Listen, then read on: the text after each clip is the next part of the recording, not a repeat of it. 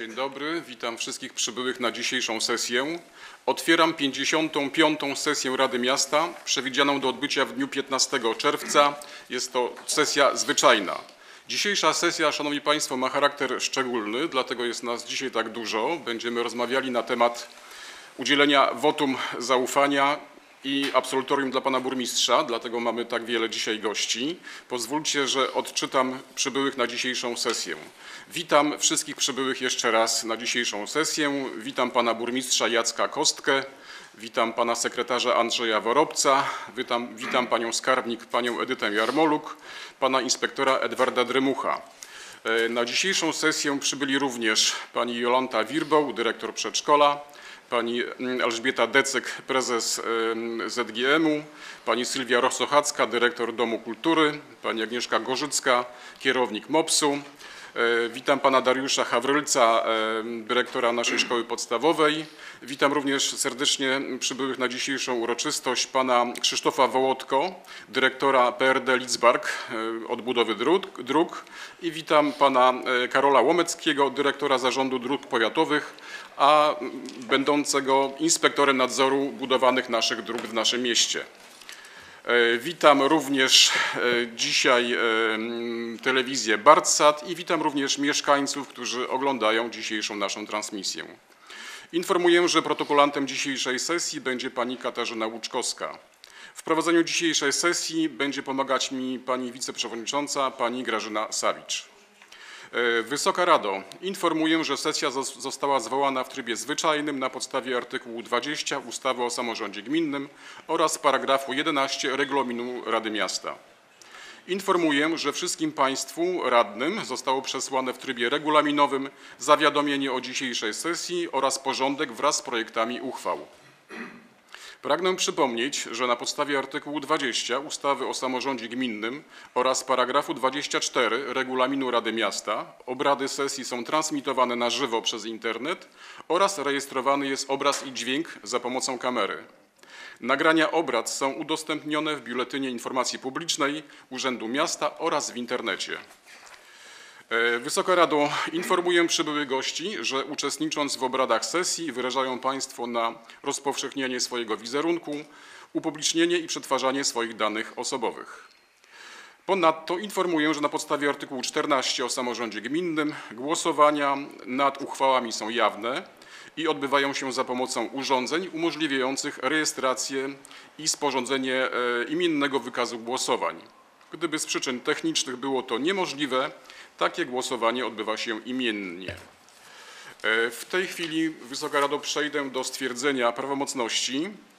Informuję, że na stan 15 radnych Rady Miasta Górowo i Ławeckie na dzień dzisiejszy, zgodnie z podpisaną listę, obecnych jest 14 radnych.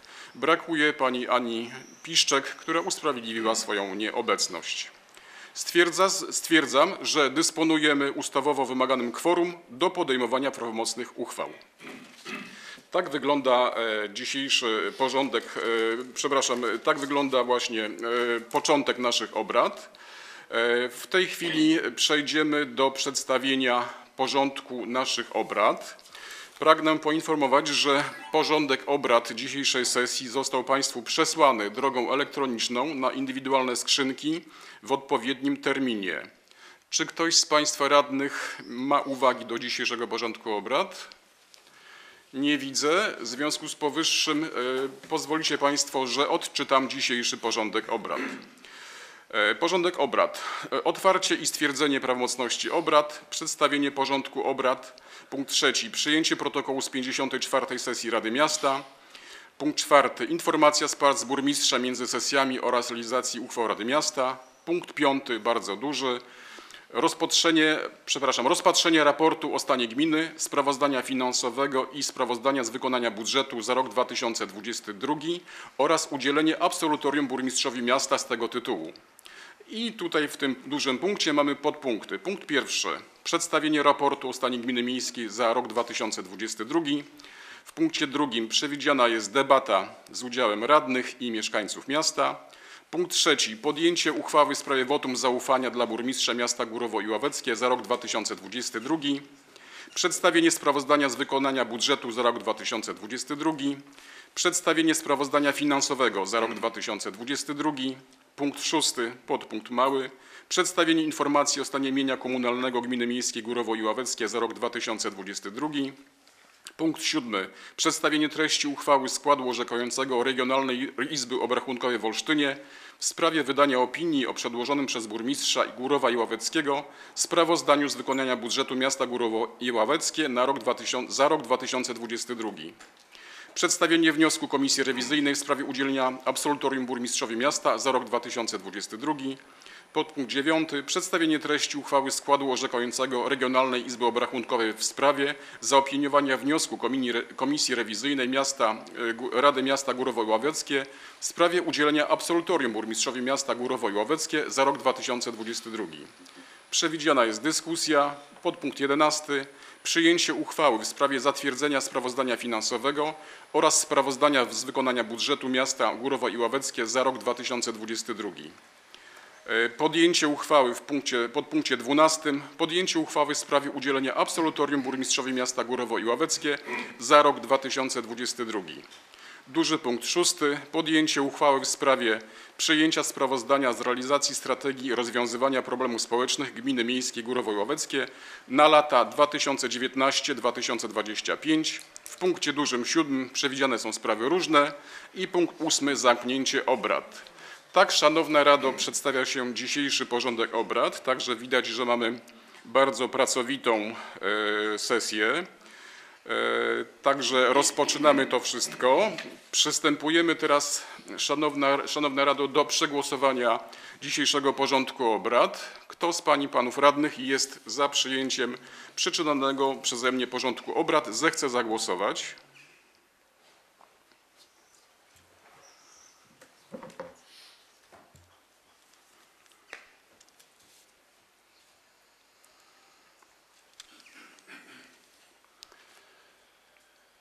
Dziękuję. Podaję wyniki. W głosowaniu brało udział 14 radnych. Informuję, że porządek obrad przyjęty został jednogłośnie. E, Przystępujemy w, i realizujemy dalszy prą- ciąg programu dziś- dzisiejszego. Jesteśmy w punkcie trzecim. Przyjęcie protokołu z 54. sesji Rady Miasta. Informuję, że e, porządek sesji Rady Miasta został Państwu przesłany na indywidualne skrzynki e, mailowe. Jest również do wglądu e, podczas dzisiejszej sesji i był ułożony w biurze Rady. Czy ktoś z Wysokiej Rady ma uwagi do protokołu z 54. sesji? Nie widzę. Przystępujemy zatem do mm, przyjęcia protokołu z 54. sesji Rady Miasta. Kto z pań i panów radnych jest za przyjęciem protokołu z 54. sesji Rady Miasta? Zechce zagłosować.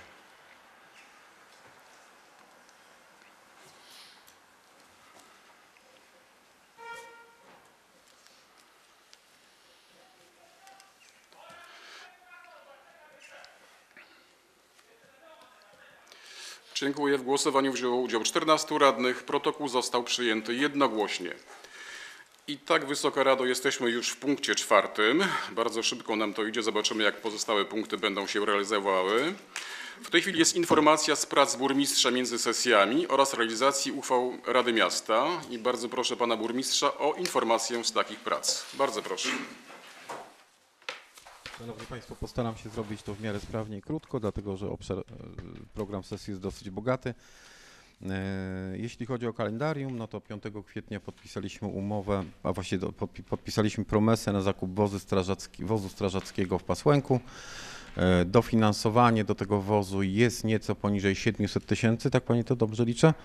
A wartość po przetargu to jest e, nieco ponad 1 100 tysięcy złotych, więc e, no, będziemy musieli partycypować w tym wozie, ale tu zgodziliśmy się wszyscy, że na bezpieczeństwie oszczędzać nie można, tym bardziej, że udało nam się namówić duże grono strażaków do dołączenia do naszej jednostki, a jednocześnie e, no, ten samochód, który dziś jeździ, ma, ma 10 lat, może nieduży przebieg, ale no wszystko się zużywa. Myślę sobie, że gdy będziemy mieli dwa nowoczesne wozy strażackie, to po pierwsze, gdyby coś się wydarzyło, to wyjadą dwa zastępy, bo od dłuższego czasu przybiega podwójny komplet strażaków, co bardzo cieszy. Eee, No, tak jak powiedziałem, na, na bezpieczeństwie nie oszczędzamy. E, 14 kwietnia miałem przyjemność przewodniczyć w zarządzie międzynarodowym wraz z prezydentem Citas Law International w Reszlu. E, 27 kwietnia otwarty został klub Senior Plus, który funkcjonuje już od jakiegoś czasu, ale zrobiliśmy tu otwarcie uroczyste. E, 29 kwietnia uczestniczyłem w walnym e, zebraniu Związku Emerytów, jeszcze nie jako członek, ale no, bardzo wielu naszych mieszkańców należy do tego związku, więc e, uważam, że należało brać udział w tym. 4 maja świętowaliśmy Dzień Strażaka. Myślę, że ta promesa była dobrym prezentem dla naszych druhów. E, 20, 19 maja odbyliśmy, podpis, podpisaliśmy list intencyjny w Starostwie Powiatowym odnośnie gospodarki wodnej, retencyjnej. E, To otworzy drogę do ewentualnego pozyskiwania środków, może nie tyle dla nas, co dla gmin wiejskich, ale czasami no myślę, że warto tutaj współpracować. E, 22 maja odbyło się spotkanie z posłami na Sejm Rzeczypospolitej. 24 maja wraz z panem przewodniczącym uczestniczyliśmy w uroczystości nadania sztandaru dla naszego zakładu karnego w Kamińsku. E, 29 maja podpisaliśmy umowy niebiesko-zielone granty w Urzędzie Marszałkowskim. E, 1 czerwca odbyły się Dni Rodziny i jednocześnie Dzień Dziecka. Zrobiliśmy to na terenie przedszkola miejskiego, bo jakby słuszna refleksja pani, pani Sylwii była taka, że właściwie wszystkie dzieci w tym wieku, dla którego, w którym skierowana była ta zabawa, chodzą do naszego przedszkola, bo mamy w mieście, jak wiecie, wszystkie dzieci jak zawsze przyjęte do przedszkola i na placu przedszkola ta impreza się odbyła. Duża frekwencja, fajna impreza. E, 6 czerwca wziąłem udział w 30-leciu Wojewódzkiego Funduszu Ochrony Środowiska i Gospodarki Wodnej w Olsztynie. E, Wypadało się pokazać, bo mamy do nich interes, prawda? Panie Dyto, będziemy chcieli po prostu z pożyczkę na brakujące pieniążki na zakup wozu strażackiego, a takie drobiazgi budują pozytywne e, e, relacje. E, Natomiast bardzo wiele ważnych innych rzeczy się wydarzyło. Mamy w tej chwili już, a właściwie za chwilę będziemy mieli podpisane wszystkie umowy na remonty dofinansowanych w zeszłym roku i w tym roku dróg na terenie miasta. W zeszły poniedziałek podpisałem umowę dotyczącą obrońców pokoju Ciasnej Jutrzenki i Lipeckiego, czyli pierwszy etap naszego Starego Miasta. Za chwilę podpiszemy drugi etap. Przedtem została podpisana już umowa na inwa- inwalidów wojennych i e, ulicę Nadbrzeżną. E, Jak wiecie, toczy się inwestycja już na Armii Krajowej. E, Inwestycja, którą prowadzi przy naszym wsparciu finansowym Starostwo Powiatowe, czyli ulica e, Sikorskiego, Krasickiego już trwa. Panie Dwadzie, nie zapomniałem o niczym? Trochę tego jest. E, Szerzej zresztą w sprawozdaniu e, w raporcie o stanie gminy. E, Rozstrzygnięte zostały z takich drobnych rzeczy, ale też ważnych zapytanie na budowę miasteczka rowerowego, tak panie dyrektorze? Które będzie stworzone przy szkole podstawowej przy ulicy Szkolnej. E, Zagospodaruje nam ten plac. Tak? Rozmawialiśmy o tym, że coś tam trzeba zrobić, uzyskaliśmy dofinansowanie. E, Myślę, że nie chcę obiecywać, że przez okres wakacji się to uda zrobić, ale spróbujemy. E, No i, i z takich jeszcze istotnych informacji, tak jak Państwo wiedzą, od początku czerwca spółdzielnią socjalną, która prowadzi stołówkę miejską, zajmujemy się, no powiedzmy jakby, nie jest to do końca fortunne sformułowanie, a zajmujemy się my jako samorząd, nową panią prezes. E, Po uzgodnieniu tego z prezesem Piotrem Baczewskim jest pani Katarzyna Dób, którą większość z Państwa zna, bo już gotowała w stołówce. E, Księgowością będzie zajmowała się e, pracownica Urzędu Miasta pani Kasia Proszek pod nadzorem pani skarbnik. E, Przyczyną tego, że miasto przejmuje stołówkę, tak w cudzysłowie, tak, to nie jest, tak jak mówię, precyzyjne sformułowanie, jest fakt, że stołówka od jakiegoś czasu boryka się z dużymi problemami finansowymi. E, Tam na dzisiaj jest jakiś deficyt finansowy, trzeba to ogarnąć. Chcemy spróbować utrzymać tą inicjatywę, bo ona była warta tego, żeby utrzymać, tym bardziej, że jak kiedyś już rozmawialiśmy na komisjach i na sesjach, zresztą zdaje się też, nam jako samorządowi opłaca się taką instytucję utrzymać, dlatego że e, jeżeli nie mamy swojej kuchni w przedszkolu, której utrzymanie kosztowało ponad 200 tysięcy złotych, e, to dopóki nasze koszty, powiedzmy współpracy ze stołówką nie przekroczą tej kwoty, to i tak jesteśmy do przodu. Natomiast e, szerszą informację e, Wysokiej Radzie, mimo że to nie jest jakby kompetencja Rady, ale wiecie, że tu jakby nic do ukrycia nie mamy. E, Nie chcę obiecywać, że po wakacjach, ale pewnie w późną jesienią e, e, zainteresowanym komisjom bądź radnym, czy być może komisji rewizyjnej. To formułę wypracujemy, przedstawimy jakby stan faktyczny, bo decyzje odnośnie tego, co się będzie dzia dalej działo ze stołówką miejską, e, no będziemy tradycyjnie podejmowali wspólnie. E, Wpłynęły nam od pana radnego Komorowskiego uwagi odnośnie ulicy Armii Krajowej. E, Myśmy z panem Edwardem e, zrobili spotkanie z wykonawcą e, bezpośrednio tej części chodnikowo-krawężnikowej z panem Markiem Żaglem, z panem inspektorem nadzoru Karolem Łomeckim. Obejrzeliśmy te uwagi. W jednym wypadku pan radny miał rację, jeden krawężnik rzeczywiście jest do wymiany, bo te szpary były za duże. W innych wypadkach one się mieszczą absolutnie w normie. Jeżeli chodzi o wyszczerbienia powyżej miejsca, gdzie będzie masa asfaltu, to po prostu jakby zgodnie ze sztuką budowlaną to się wymienia zupełnie na koniec, jak już wszystko jest położone przed laniem asfaltu, dlatego że nie ma sensu, bo znowu ktoś najedzie jakimś wózkiem, samochodem, więc w momencie, kiedy zanim ten, w momencie, kiedy będzie już zakończona praca, zostanie przeprowadzony taki przegląd e, tych robót, czy jest wszystko ok i wówczas zostaną wymienione te e, krawężniki, które są do wymiany i wylany zostanie asfalt.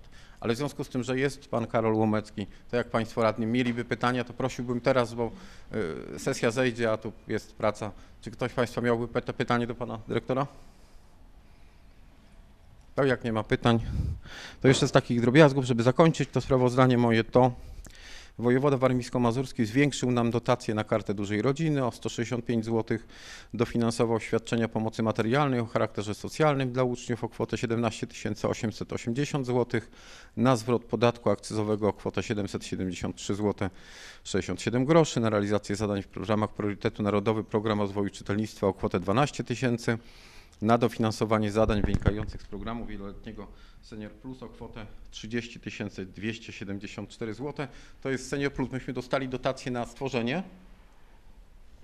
i ubiegaliśmy się o dotację na prowadzenie. Taką dotację otrzymaliśmy i te wszystkie zajęcia, które odbywają się w ramach Seniora Plus są w tej chwili już nie tylko w oparciu o nas- nasz budżet, ale również o dotację od wojewody. E, Na realizację programu Wsparcie Rodzin Wie- Wielodzietnych o kwotę 105 zł i na pomoc państwa w zakresie dożywiania oraz pomoc żywnościową dla najuboższych o kwotę 4 tysiąc- 45 353 zł. I to tyle, dziękuję bardzo. E, Dziękuję bardzo mm, panu burmistrzowi za przedstawienie informacji ze swoich prac. E, Czy ktoś z państwa miałby pytania do tego zagadnienia? E, Nie widzę. Ja tutaj korzystając... Panie Przewodniczący, pan, pan dyrektor się Ej, Dobrze, dobrze. Ja tylko jeszcze tutaj było, mm, był poruszony pan Karol Łomecki. Panie dyrektorze, tylko taką informację, kiedy, na kiedy planowane jest zakończenie inwestycji e, właśnie Armii Krajowej? Czy termin nie jest zagrożony i jak to wszystko wygląda? Kilka informacji, bardzo proszę. Panie Przewodniczący, e, Wysoka Rado, Panie Burmistrzu, e, dziękuję za zaproszenie. E, Chciałbym jeszcze tak e, na początek powiedzieć, że e, e, dziękujemy za jakieś uwagi, które tutaj mieszkańcy, mm, Państwo radni e, macie, zgłaszacie, e, z uwagi na to, że mm, lepiej teraz wszystko rozpatrzeć niż e, później niż później się tam boryka z jakimiś e, problemami. Także e, jeżeli tutaj są jakieś, e, jakieś uwagi, ja, ja nie mówię, że wszystkie uwagi muszą być zasadne, ale może trzeba wyjaśnić pewne rzeczy i, i takie rzeczy zrobić. Także mój numer w urzędzie tutaj u pana Edwarda jest dostępny. Można się kontaktować albo do pana Edwarda, albo bezpośrednio do mnie, nie ma problemu. Ja tu w Górowie jestem przynajmniej dwa razy w tygodniu, a jak trzeba będzie, to jestem tutaj na każde mm, zawołanie e, inwestora, także, także nie ma problemu. Także e, jeżeli coś będzie takiego, to ja zapraszam do kontaktu. Lepiej to wyjaśnić na, mówię, na samym początku i, i od razu i, e, i tyle. A natomiast jeżeli chodzi o wykonanie, termin nie jest zakończony, tam zgodnie z umową termin jest do, do września, e, do, do września tego, tego roku. E, Tu dopowiem jeszcze, że nasze tematy, które realizujemy jako powiat bartoszycki, czyli ulica Sikorskiego, Krasickiego, e, jest przewidziana do końca tego roku, z uwagi na to, że tu na ulicy Krasickiego jeszcze wykonawcę, tutaj jest pan dyrektor przedsiębiorstwa robót drogowych, który reali- będzie realizował to dla nas. E, nie możemy wpuścić z uwagi na to, że e, mamy jeszcze pewne ustalenia z konserwatorem zabytków, bo ulica Sikorskiego nie jest objęta nadzorem konserwatorskim, natomiast ulica Krasickiego e, jest, no i konserwator chce pewne badania, żebyśmy przeprowadzili, także myślę, że czekamy tylko już na decyzję określającą zakres tych badań i myślę, że w tym miesiącu, jeszcze może w czerwcu, na początku lipca uda nam się to przeprowadzić i, i, i to zrealizować. Termin też na tą chwilę, jeżeli chodzi o ulicę Krasickiego, e, zagrożony e, nie jest. Wszystko zależy jeszcze od decyzji konserwatora, e, ale tutaj ewentualnie będzie w zależności od tych zaleceń konserwatora mogą być pewne opóźnienia, ale na tą chwilę jeszcze nie. Natomiast ulica Armii Krajowej, termin nie jest zagrożony, tutaj nie ma na tą chwilę się czego obawiać. Dziękuję bardzo. Dziękuję bardzo. Czy ktoś z Państwa miałby jeszcze pytania do Pana Karola Łomeckiego, dyrektora Zarządu Dróg Powiatowych? Bardzo proszę, Pan Radny Łukianowicz. Witam wszystkich. A może nie do pana dyrektora, tylko bardziej do pana Edwarda, bo chodzi mi o Armii Krajowej, o ten sam wyjazd w stronę Żywkowa. Ja się kiedyś pytałem, e, tam jest odcinek nie, nie, nie naszej drogi, tylko drogi wojewódzkiej. I mam takie pytanie, czy to będzie w tym samym czasie robione, czy w późniejszym? Są uzgodnienia, ale uzgodnienia tylko ustne. Ja przepraszam, że tak stoję, ale miejsca mało. Uzgodnienia tylko ustne z Zarządem Dróg Wojewódzkich, że do ulicy Królewieckiej te odcinki, dwa, jeden w stronę Żywkowa, drugi w stronę Bartoszyc na tym łuku, zostaną wykonane w tym samym terminie. I tylko tyle. W tym samym terminie, tak jak e, no, przed wylaniem asfaltu. Tam chodniki nie są przewidziane do przebudowy. Do przebudowy jest e, ewentualne poszerzenie, troszeczkę tutaj e, wylot na Żywkowo i wylanie asfaltu powiedzmy tam do ulicy Króle, Królewieckiej tylko. Dziękuję. Dziękuję bardzo. Widzę, że więcej pytań nie ma. W tej chwili poproszę Pana Krzysztofa Wołodko, dyrektora Przedsiębiorstwa Robót Drogowych z Lidzbarka o kilka informacji, tak? Odnośnie ulicy yy, właśnie Sikorskiego, Krasickiego. Rozumiem, że Krasickiego jeszcze poczeka na konserwatora zabytku, ale rozumiem, że asfalt do naszego liceum będzie wylany, tak, prawda? Na, na, na dwa etapy pewnie to załatwicie. Oczywiście, że tak. Tak. Tak, tak. Wszystko jest zgodnie z. te- y, ze Może mikrofon. I, wszystko z, mieści w terminie. Tak. tak. Wszystko jest y, zgodnie z, z harmonogramem i w terminie będzie wykonane. Dziękuję bardzo. Co postępu, tak? W tej chwili przystąpimy do podpisania umowy na realizację kolejnego etapu e, dróg e, w naszym mieście. Chodzi o tę właśnie drogi nasze wszystkie zabytkowe w koło ratusza. W tej chwili następuje podpisanie umowy.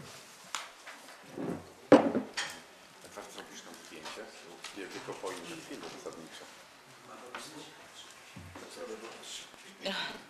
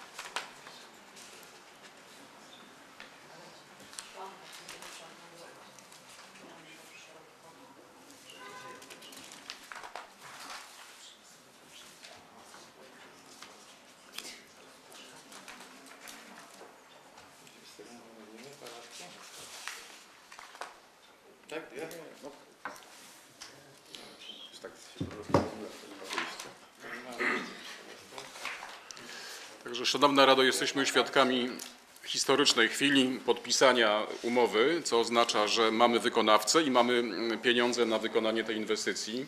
z niecierpliwością będziemy patrzyli, jak ta inwestycja jest realizowana. Jest to bardzo trudna inwestycja, bo to jest w części zabytkowej naszego miasta, więc tam będą prace też również konserwatorskie.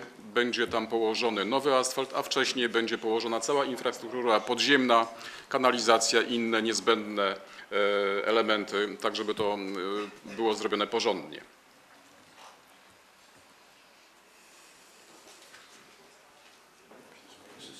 Jeśli mogę dwa słowa, to to asfaltu będzie niedużo, tam więcej będzie nawet granitu niż, niż asfaltu, ale To pan dyrektor powie właśnie, bo tak zna pan szczegóły tutaj, tak? Zaraz jeszcze. Tak, tak, tak, tak. Zaraz, zaraz, zaraz. Tak, zaczekamy, jeszcze będą oklaski tutaj, bo to jest tak.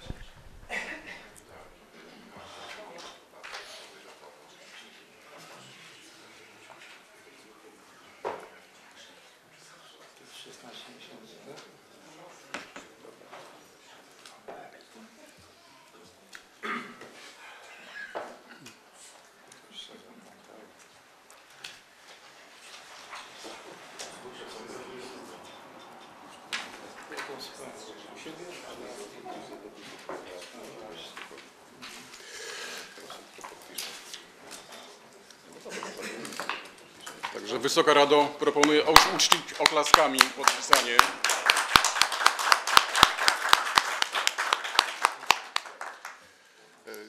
Cieszymy się bardzo, a teraz poproszę pana dyrektora Wołodko o kilka informacji odnośnie realizacji tego zagadnienia. Słowa powiem, jeżeli mogę, panie przewodniczący. Proszę bardzo. Żeby zapiąć jakby temat do końca. Moi drodzy, to jest ostatnia umowa w ramach tych zaplanowanych do realizacji w tej kadencji dużych odcinków dróg. To jest łącznie blisko 22 miliony złotych inwestycji. No zależy jak liczyć, tam być może nawet i więcej wyjdzie. Ogromne dofinansowania, współpraca ze starostwem powiatowym, współpraca e, z polskim rządem, który w większości funduje nam te drogi. Więc myślę sobie, że warto tą ostatnią umowę podpisać właśnie dziś na uroczystej sesji, ponieważ to jest e, jednocześnie jedno z największych przedsięwzięć. Bo to jest drugi etap Starego Miasta, łącznie pierwszy etap 5 milionów, drugi etap też blisko 5 milionów, a o szczegółach tej inwestycji powie wykonawca, czyli bardzo proszę pana dyrektora. Na razie trudno mówić jeszcze o szczegółach, natomiast e, w tym roku właściwie Państwo nie zobaczą nic e, na tych budowach, ponieważ jest to e, w formule zaprojektuj i zbuduj. W związku z tym pierwsze co, to musimy zrobić projekt, przede wszystkim uzgodnić e, z konserwatorem zabytków, następnie z inwestorem i e, w, do końca tego roku prawdopodobnie może się udać e, zrobić tylko projekt. Natomiast same, e, e, sama realizacja roboty będzie w roku następnym. E, Ciężko mi określić, czy to będzie późna jesień, czy też do końca umowy, ale raczej gdzieś tam do późnej jesieni następnego roku. I- co jeszcze? Tu, tu będzie rzeczywiście dosyć skomplikowane, ponieważ e, będą przebudowane sieci podziemne, czyli będzie gaz, kanalizacja, woda, e, a sama, sama nawierzchnia będzie wyglądała e, taka powiedzmy pół na pół. Częściowo będzie bruk, częściowo będzie bitumiczna, pod warunkiem, że zgo- zgodzi się na to konserwator zabytków. I chodniki z płyt granitowych. Czyli będzie taka rzeczywiście fajna wizytówka miasta, e, jak gdyby kontynuacja tego, co tu jest wokół ratusza, a nawet więcej, ponieważ chodniki również będą granitowe.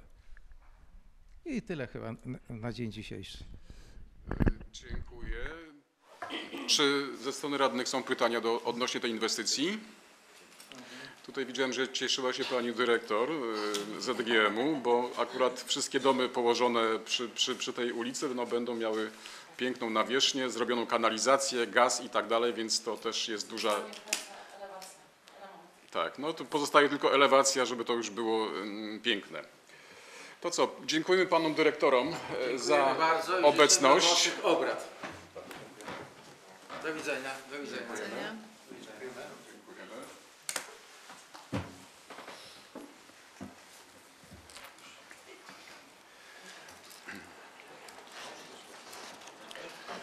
Dziękujemy naszym gościom, także e, są zapracowani, dlatego odsyłamy ich do, do pracy. Tak, e, także dziękujemy jeszcze raz, że zaszczycili na dzisiejszej obecności. Byliśmy świadkiem podpisania umowy, także mamy wszystko na piśmie, że będzie to w swoim czasie wszystko realizowało. Wysoka Rado, y, przechodzimy teraz do dużego punktu rozpatrzenie raportu o stanie gminy, sprawozdania finansowego i sprawozdania z wykonania budżetu za 2020 rok, oraz udzielenie absolutorium burmistrzowi miasta z tego tytułu. E, Chcę powiedzieć i poinformować Wysoką Radę, że te zagadnienie, rozpatrzenie raportu reguluje w całej rozciągłości artykuł 28 ustawy o samorządzie gminnym, także będziemy realizowali dokładnie punkty e, artykułu 28 w tym temacie. E, Raport o stanie gminy jest to dokument, który zawiera kompleksowe podsumowanie różnych aspektów funkcjonowania gminy w poprzednim roku. Jest podsumowaniem działalności burmistrza i ma na celu dostarczenie informacji mieszkańcom dotyczącym osiągnięć, działań, inicjatyw podejmowanych przez organ wykonawczy gminy. Zapewnia to przejrzystość i umożliwia mieszkańcom oc- ocenę efektywności i skuteczności władz lokalnych nad stanem i rozwojem naszej gminy. Pokrótce przypomnę tylko, że pan burmistrz będzie mówił w szczególności o realizacji polityk, programów, strategii. Mm, Obejmuje również to budżet, wykonanie środków finansowych, które zostały przeznaczone na inwestycje i programy społeczne. Dlatego też bardzo proszę pana burmistrza o przedstawienie tego raportu. Raport był do wglądu i mieliśmy możliwość się z niego zapoznania. Jest, na bardzo, jest bardzo obszerny, dlatego też proszę pana burmistrza o takie syntetyczne zaprezentowanie tego zagadnienia. Bardzo proszę. E, Panie Przewodniczący, Wysoka Rada, Szanowni Państwo, drodzy mieszkańcy. E, W tym roku przygotowaliśmy raport o stanie gminy w troszkę odmiennej formie. Tak jak w poprzednich latach. E, Ja proponuję radnym się wygodnie przesiąść, bo to potrwa. Lojalnie uprzedzam. Tak jak w poprzednich latach była tylko i wyłącznie moja prezentacja, tak, taka prosta refleksja, ponieważ raport o stanie gminy przedstawia burmistrz, ale nie burmistrz jako Jacek Kostka, tylko burmistrz jako organ gminy. Burmistrz jako organ gminy nie pracuje sam. Na to wszystko, co dzieje się w mieście, składa się praca wszystkich jednostek, zarówno Urzędu Miasta, jak i Ośrodka Kultury, Ośrodka Pomocy Społecznej, placówek oświatowych czy naszej spółki ZGM. I pomyślałem sobie, że poświęcając być może dodatkową godzinę, poznamy również to, co robią te pozostałe jednostki, ale zaczniemy od mojej prezentacji. Postaram się e, mówić krótko, tak żeby zostawić jakby trochę miejsca pozostałym pomocniczym jednostkom do działania burmistrza. Raport o stanie gminy za rok 2022, kluczowe zagadnienia. O, coś mi A, dobra, przepraszam, technikalia. Zaczniemy od dochodów. Jak Państwo popatrzą, dochody ogółem wynoszą 29 milionów 410 tysięcy i no, 877 zł i 34 grosze. I jeżeli popatrzycie sobie na poszczególne pola, no i teraz, wiecie, ja mam swoje lata i nie dowidzę. A tych wszystkich cyfr to nawet ja na pamięć nie znam, więc pozwolicie, że przemieszczę się pod, pod monitor tak żeby móc się posiłkować informacjami e, z ekranu. E, Z takich najciekawszych informacji macie kwotę PIT, to jest ta część wyróżniona na czerwono. E, To są pieniążki, które dostajemy z budżetu państwa jako zwrot podatków naszych mieszkańców, tych cywilnych, waszych wszystkich, tak? Płacicie podatki, PITy i część z tych podatków wraca do gminy i to jest ta kwota to jest 5 milionów, 5,5 miliona mniej więcej. E, Jeśli chodzi o CIT, czyli to, co dostajemy jako część dochodu naszych przedsiębiorców, które oni odprowadzają e, jako podatek dochodowy od zysku do, do państwa, to jest blisko 100 tysięcy złotych. Podatek od nieruchomości to jest dla nas dochód blisko 1 800 mniej więcej na pół podatek od e, jakby mieszkań, tak, e, tych rzeczy takich zwykłych i podatek od działalności gospodarczej, mówimy tu o podatku od nieruchomości. E, Inne podatki, opłaty lokalne to są głównie śmieci i zwrot za przedszkole, jeśli chodzi od, od strony od, od gminy wiejskiej. Pozostałe dochody 6 milionów 100 tysięcy 441 zł. To są projekty, które realizowaliśmy i które zostały zapłacone, zwrócone, znaczy zwrócone nam e, w zeszłym roku, czyli na przykład częściowa refundacja budowy ośrodka kultury, e, dróg, tak, tych, które już zapłaciliśmy i tak dalej. Subwencja, w większości jest to oczywiście subwencja oświatowa i dotacje, to między innymi w największej części dotacje na działalność Miejskiego Ośrodka Pomocy Społecznej na realizację zadań rządowych. I tyle ogółem dochody. Yy, I teraz popatrzmy, jak wygląda to w przypadku różnych jednostek naszych.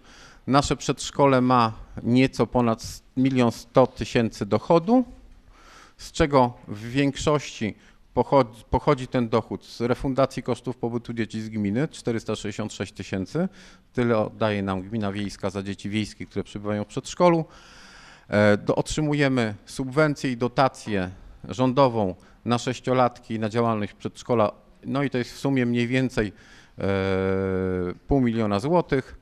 No i pozostałe drobne rodzice płacą nam za pobyt dzieci w przedszkolu w sumie przez cały rok 56 tysięcy złotych. Co do całej wartości na przykład e, tej działalności, no to jest bardzo niewielka kwota. Pozostałe dochody, no to, to już takie drobiazgi, niecałe 40 tysięcy.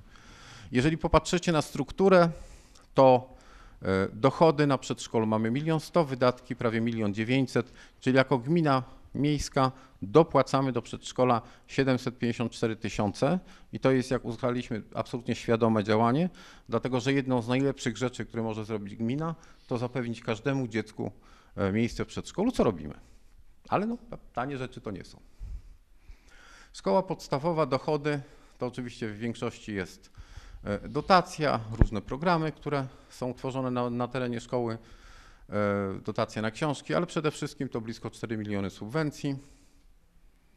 No i teraz ten rok jest wyjątkowo, e, wyjątkowo jesteśmy na minusie, jeśli chodzi o biznes oświatowy, ale wynika to z tego, że sporo pieniędzy zainwestowaliśmy w niezbędne remonty w szkole, bo oprócz głównego remontu, który był prowadzony w szkole podstawowej w ramach termomodernizacji, to również zostało wykonanych sporo napraw bieżących, dodatkowych prac, wymian no, instalacji elektrycznych. No, tego trochę się nazbierało i w sumie, jeżeli dodać sobie te rzeczy, to wydaliśmy dodatkowo na oświatę w mieście, na szkołę podstawową, podstawową przepraszam, prawie milion złotych. E, Dlatego, że tu mamy kwotę 238 tysięcy. To są dodatkowe różne remonty, które przeprowadziliśmy w tej szkole jako uzupełnienie termomodernizacji, bo termomodernizacja to był jeden projekt, a w trakcie roku, jak już te prace trwały, to e, jakby tych prac się pojawiło więcej, w uzgodnieniu zresztą z Państwem, z Panem Dyrektorem. e, I gdyby odjąć te wydatki majątkowe, czyli remonty, tak, które są jednorazowe, ale już nie będą powtarzane, to na dzisiaj do działalności szkoły podstawowej jako całości, czyli do uczenia dzieci, tak w skrócie, bieżącego utrzymania budynków, dokładamy z budżetu miejskiego pół miliona. To jest tendencja negatywna, dlatego że były lata, dokła- dokładaliśmy 100 tysięcy albo i mniej. Nie wynika to oczywiście z naszej winy, po prostu subwencja oświatowa jest po prostu za niska. No ale nie ma wyjścia, tym bardziej, że jak już mówiliśmy w poprzednich latach, zajmowaliśmy czołowe miejsca w kraju, jeśli chodzi o jakość nauczania, jakość opieki nad dziećmi. E, No to to jest też jakby no, sprzężenie zwrotne, tak? Jeżeli dbamy o jakość oświaty, to to musi kosztować. No i ośrodek pomocy społecznej, czyli opieka na, nad osobami wymagającymi wsparcia. E, Dochody to jest e, blisko 7 milionów złotych, z czego większość to jest oczywiście dotacja, prawie 5 milionów. Dodatkowo otrzymaliśmy środki covidowe, 1 800 000. E, W dużej mierze to jest węgiel, jak się zastanawiacie. Dodatki węglowe, tak, pani, pani kierownik? Dodatki węglowe, to skrót, bo ten węgiel jest jakby wielo, wieloetapowy w tej prezentacji. Także węgla było sporo w tym roku ubiegłym. E, Wydatki MOPS-u to blisko 8 milionów. To są wydatki, które znacząco rosną, przy czym w 2022 roku, e, pani kierownik, 500 plus było jeszcze u nas wtedy? Nie było już nawet 500 plus.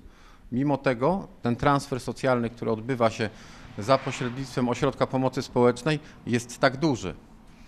E, Milion 400 tysięcy to były świadczenia wychowawcze 500, które się kończyły w roku 2022, ale Cała reszta to są bieżące zasiłki, na przykład zasiłki rodzinne, fundusze alimentacyjne to są prawie 2 miliony złotych w skali roku, zwróćcie uwagę.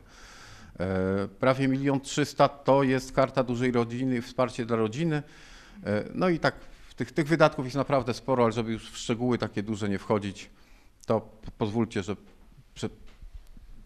pobiegnę dalej.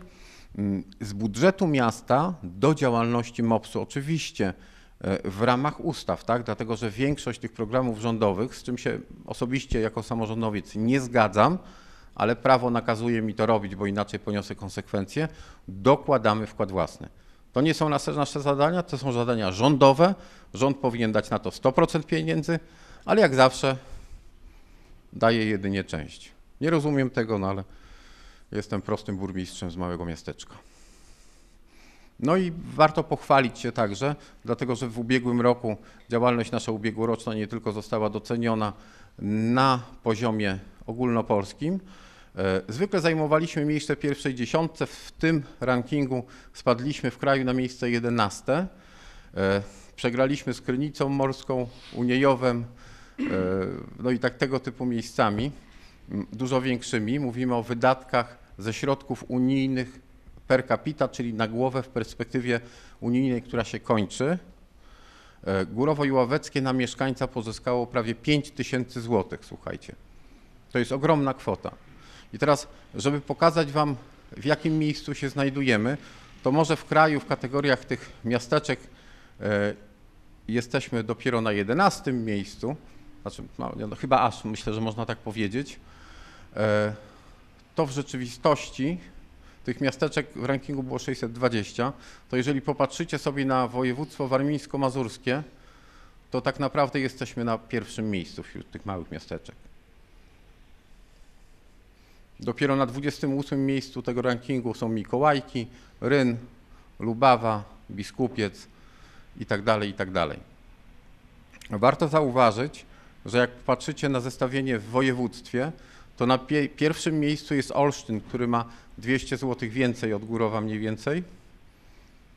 Potem jest Górowo i Ławeckie po Olsztynie, a po Górowie i Ławeckim z kwotą prawie o 700-800 zł mniejszą jest Lidzbark Warmiński. I myślę sobie, że wspólnie, jako władze miasta, czyli burmistrz i rada, możemy być z tego dumni, bo to wasze decyzje i skuteczne działania urzędu spowodowało, że możemy się tym pochwalić. Jeżeli popatrzycie sobie jeszcze na takie zestawienie obrazowe, to na pierwszym słupku macie Górowo i i pozostałe małe samorządy. No nie takie małe, bo Górowo i w porównaniu do Barczewa czy, czy, czy, czy Fromborka jest znacznie mniejszym miasteczkiem. E, Jeżeli chcemy porównać się do powiatu, a to jest w ogóle dobry moment, żeby podsumować to, dlatego że ta perspektywa unijna kończy się w tym roku. Czyli na przykład dla nas ostatnim projektem, który rozliczamy i w tym rankingu jeszcze go nie widać, to jest budowa ośrodka pomocy, ośrodka kultury, przepraszam. To jest budowa ośrodka kultury e, i na poziomie powiatu, jeżeli popatrzycie, mm, uciekły nam, nam miasta, co prawda e, niebieskie jest Górowo Ławeckie i potem po kolei, o ile pamiętam, mamy chyba Sempopol, Bisztynek, e, Bartoszyce i powiat wartoszycki. To jakiś błąd się wkradł w prezentację. Ale e, najlepsze miasto z powiatu w kategorii e, wydatki z unijnych projektów na mieszkańca e, osiągnęło na połowę tego, co my. E, Również ukazał się ranking Fundacji Rozwoju Demokracji Lokalnej, który analizował bardzo dokładnie różnego rodzaju aspekty działalności samorządu. To jest jedna z najstarszych e, fundacji, która działa w zakresie szkolenia, w zakresie certyfikowania samorządów. Uroczystość odbyła się w Olsztynie, w województwie na 116 gmin regionu, ponieważ to był ranking regionalny. Nasze miasto zajęło piąte miejsce, a w kategorii miast zajęliśmy drugie miejsce po Lubawie, wyprzedziliśmy Iławę, Ostrudę i Mrągowo. Ja chcę od razu zaznaczyć, że to są rankingi, za które miasto nie płaci. Tak, bo są też takie, że trzeba zapłacić, się potem zajmuje miejsce. Nie, nie. Tu po prostu zostaliśmy nagrodzeni w oparciu o dane z ministerstwa, z naszych sprawozdań, które składamy do Regionalnej Izby Obrachunkowej. E, Tutaj w tym rankingu, o którym mówiłem, brane było pod uwagę 16 wskaźników, zarządzanie budżetem, środki zewnętrzne, które pozyskujemy, jakość zarządzania miejską oświatą. To zresztą było widać w innych rankingach. Jakby, no, myślę, że nie dziwi wysoka pozycja naszego miasta dzięki ciężkiej pracy całego zespołu, który jest naprawdę malutki. Udaje nam się osiągnąć. E, Pozostałe samorządy z powiatu, tak, e, miasto Bartoszce 25 miejsce, gmina Bartoszce 70, Sempopol, Bisztynek to jeszcze troszkę niżej. Mm. No i ukazał się e, ranking e, opracowywany przez profesora z Polskiej Akademii Nauk e, Miasta Dobrego Życia. Brano pod uwagę takie kategorie, które absolutnie nas defaworyzowały, na przykład położenie geograficzne. No to wiemy, gdzie leżymy, tak? Poziom nasłonecznienia, Mm, ale również funkcjonowanie samorządu. Okazało się, że Górowo Jółoweckie zajęło 18 miejsce, no tym razem lepsza była Ostruda, Lidzbark Warmiński, ale na przykład Dobre Miasto czy Bartoszyce znalazły się w tym rankingu za nami. E, To był duży ogólnopolski ranking, e, promowany, firmowany też przez e, portal samorząd pap.pl, czyli taki rządowy portal związany z działalnością samorządu terytorialnego. No i tu dzięki pracy pani Kasi, która przy okazji obsługuje Państwa sesję, e, zajęliśmy pierwsze miejsce w województwie warmińsko-mazurskim, a 47 miejsce na cz- 2477 gmin e, w programie Czyste Powietrze. E, Nasi mieszkańcy łącznie otrzymali kwotę 267 960 zł i 56 groszy na różnego rodzaju działania związane z termomodernizacją, wymianą podejrzeć źródeł ciepła i tego typu rzeczy. Także bardzo dziękuję Pani Katarzynie, bo to głównie jej zasługa. No i wreszcie, to jest tradycyjnie, zwykle zajmujemy pierwsze miejsce w kategorii e, w konkursie związanym z krwiodawstwem. E, Ognisty ratownik Gorąca Krew. Ja chcę serdecznie podziękować, słuchajcie, wszystkim mieszkańcom, bo to nie tylko strażacy, wszystkim mieszkańcom, którzy przychodzą pod Górowski Ratusz, żeby oddać krew. Bo to dzięki Wam praktycznie co roku nasi strażacy odbierają pierwsze miejsce w województwie. Słuchajcie, oddaliśmy w zeszłym roku 70 litrów krwi. Myślę, że uratowaliśmy przez to bardzo wiele ludzkich istnień i, i, i uratowaliśmy wielu osobom zdrowie. Bardzo serdecznie wszystkim dziękuję. No i to jest taki sukces bardzo wewnętrzny. Yy, okazało się pewnego razu, że nasza straż nie wyjechała wtedy, kiedy powinna wyjechać. Jeden raz. Uznaliśmy to za sygnał ostrzegawczy. Porozmawialiśmy z powiatową komendą straży, żeby zorganizowała kurs strażacki, ponieważ to trzeba odbyć specjalny kurs strażacki w Górowie i Ławeckim. Ja obiecałem razem z panem sekretarzem Andrzejem Worobcem, że jak się uzbiera grupa w Górowie, to również weźmiemy udział w tym kursie. I ku mojemu nieszczęściu, ja swoje lata mam, y, nazbierała się duża grupa strażaków chętnych z Górowa i Łoweckiego i ten kurs się odbył, wziąłem w nim udział, przeżyłem, łatwo nie było, komorę dymową, serdecznie pozdrawiam obsługę, ale udało się bez reanimacji, E, ale dzięki temu mamy bardzo sprawną drużynę strażacką i stąd ta informacja tak, że kupujemy drugi samochód, bo oni po prostu już przybiegają w dwóch ekipach i może nie tyle się, a pominąłem Łukasza Rochunia, który dołączył do nas i świeci przykładem i jeździ na akcję. Łukaszu, bardzo Ci dziękuję.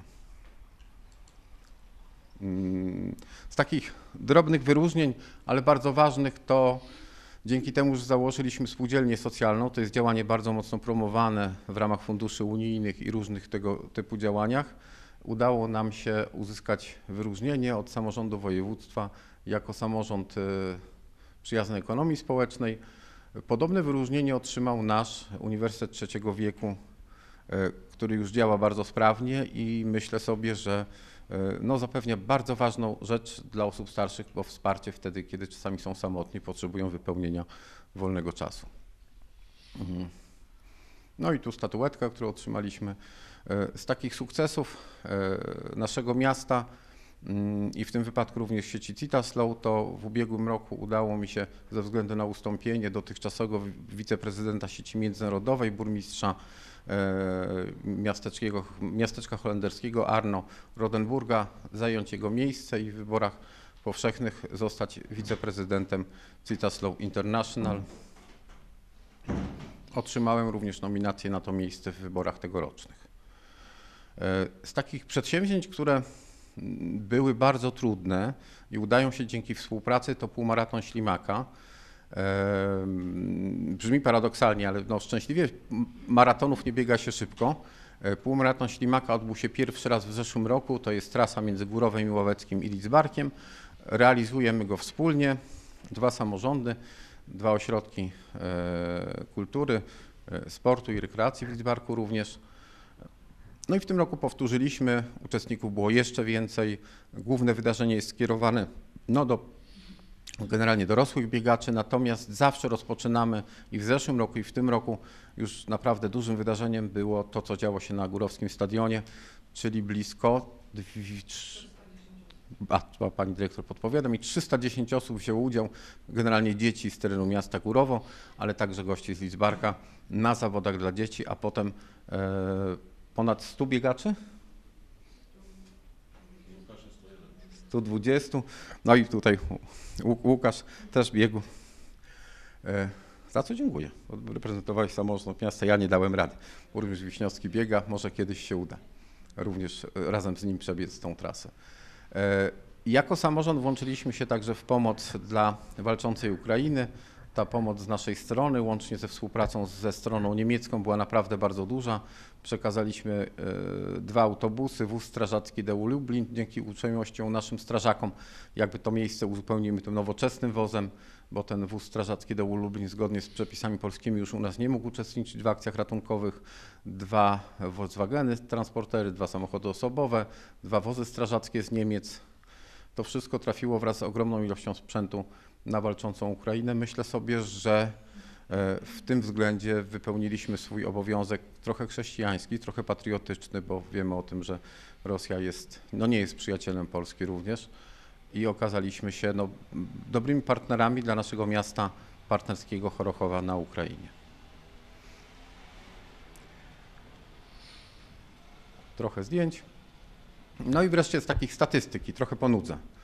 Do Górowa w, roku 2022 roku do samego urzędu wpłynęło 5497 pozycji korespondencji. To ja się od razu tłumaczę, że jakbym kiedyś się spóźnił i ktoś napisał skargę na opieszałość burmistrza, to tak trochę, bo, ponieważ te ponad 5, blisko 5500 pozycji e, korespondencji obsługuje u nas 15 pracowników e, administracyjnych. Jak ktoś chce, to sobie może przeliczyć, ile to wychodzi na głowę. E, Mamy zatrudnionych, mieliśmy zatrudnionych w różnym okresie czasu 17 pracowników interwencyjnych, czyli te osoby, które dbają o, o czystość na terenie miasta. Nigdy nie było ich naraz 17. To o. Ja, ja rozumiem, ja mam kończyć, ale postaram się przyspieszyć. Bardzo dziękuję. E, Więc nie było ich naraz 17, ale taka liczba się przewinęła w, w różnych formach umów. E, Urząd Stanu Cywilnego wydał 16 aktów urodzenia, 44 akty małżeństwa i 71 aktów zgonu.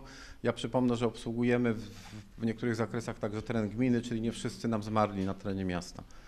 E, Ja wydałem 94 zarządzenia, czyli te akty prawne, które są w- oparciu o państwa uchwałę albo inne przepisy prawa dające możliwość podejmowania samodzielnych decyzji burmistrzowi. No i tu tradycyjnie chciałem pokazać, jak dużo robi nasza interwencja, bo naprawdę tych prac wykonują coraz więcej, znaczy tak jak zawsze bardzo dużo, bo od sprzątania przez łatanie asfaltu, i, no, zbieranie śmieci i tak dalej. E, I z takich ciekawostek, nie będę czytał tego obiecuję. E, W sumie łataliśmy nasze drogi wysypując 36 ton masy asfaltowej, słuchajcie. Staraliśmy się robić to na bieżąco, jak najszybciej się dało. E, Dzięki temu, że te remonty dróg się po, postępują i dotyczą tych najbardziej zniszczonych dróg praktycznie, to z pewnością w następnych latach będziemy mieli łatwiej na wiosnę. To mnie strasznie cieszy, bo będzie można zająć się innymi rzeczami. E, Kosimy 30 hektarów, słuchajcie. Na przykład e, w samym lipcu staw garncarski trzy razy, żeby to wyglądało. Nie? Także tej pracy jest naprawdę bardzo dużo. Słuchajcie, jak sobie przeliczylibyśmy ilość śmietników na mieście na mieszkańca, to pewnie też mamy pierwsze miejsce w kraju, bo 200 śmietników, tak, to na każdy, jakby tak przeliczyć, e, naprawdę ich jest bardzo dużo. E, dlatego, że jak projektowane są inwestycje, to wkłada się tam standardową, jakąś taką najbardziej wygodną ilość śmieci, ale e, śmietników, ale potem trzeba te śmietniki wypróżniać, czyścić, dbać o nie, więc to generuje też mnóstwo pracy. Yy, Pozwolicie, że przewiniemy. Ja tylko ciekawostki przytoczę, tak?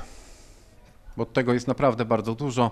Od usuwania śmieci, wycinanie, przycinanie ga- gałęzi, wycinanie wiatrołomów, e, usuwanie na przykład śmieci, które ktoś wrzuca na przykład do stawu garncarskiego, opony. Nie mam pojęcia po co komu. E, Staramy się też, e, jak wiecie, mamy, mamy pracownika, który zajmuje się e, sprawami związanymi z bezpieczeństwem miasta, przy okazji miejskim monitoringiem. Sporo spraw zgłaszamy na policję, tak? Albo bardzo często też nie tyle zgłaszamy na policję, tylko zaczynamy od tego, żeby porozmawiać z delikwentem, który narozrabiał i dać mu możliwość naprawienia krzywdy albo problemu, który stworzył w mieście. E, Natomiast jak jest coś, że tak powiem, trudniejszego albo o większej wartości, no to wtedy zgłaszamy do organów ścigania i tyle. E, Tych rzeczy naprawdę jest. Na przykład e, przewozimy e, te śmieci gabarytowe, które mieszkańcy wystawiają pod śmietniki. Generalnie formalnie każdy powinien zapakować te śmieci, jeżeli nie jest dzień wystawki, tak, które też organizujemy, zawieźć na przok pod oczyszczalnię śmieci. E, No ale z drugiej strony e, dostajemy informację od państwa, że jest brudno, więc my to usuwamy. Usuwają to nasi pracownicy. Także jak widzicie, tego naprawdę, naprawdę jest sporo.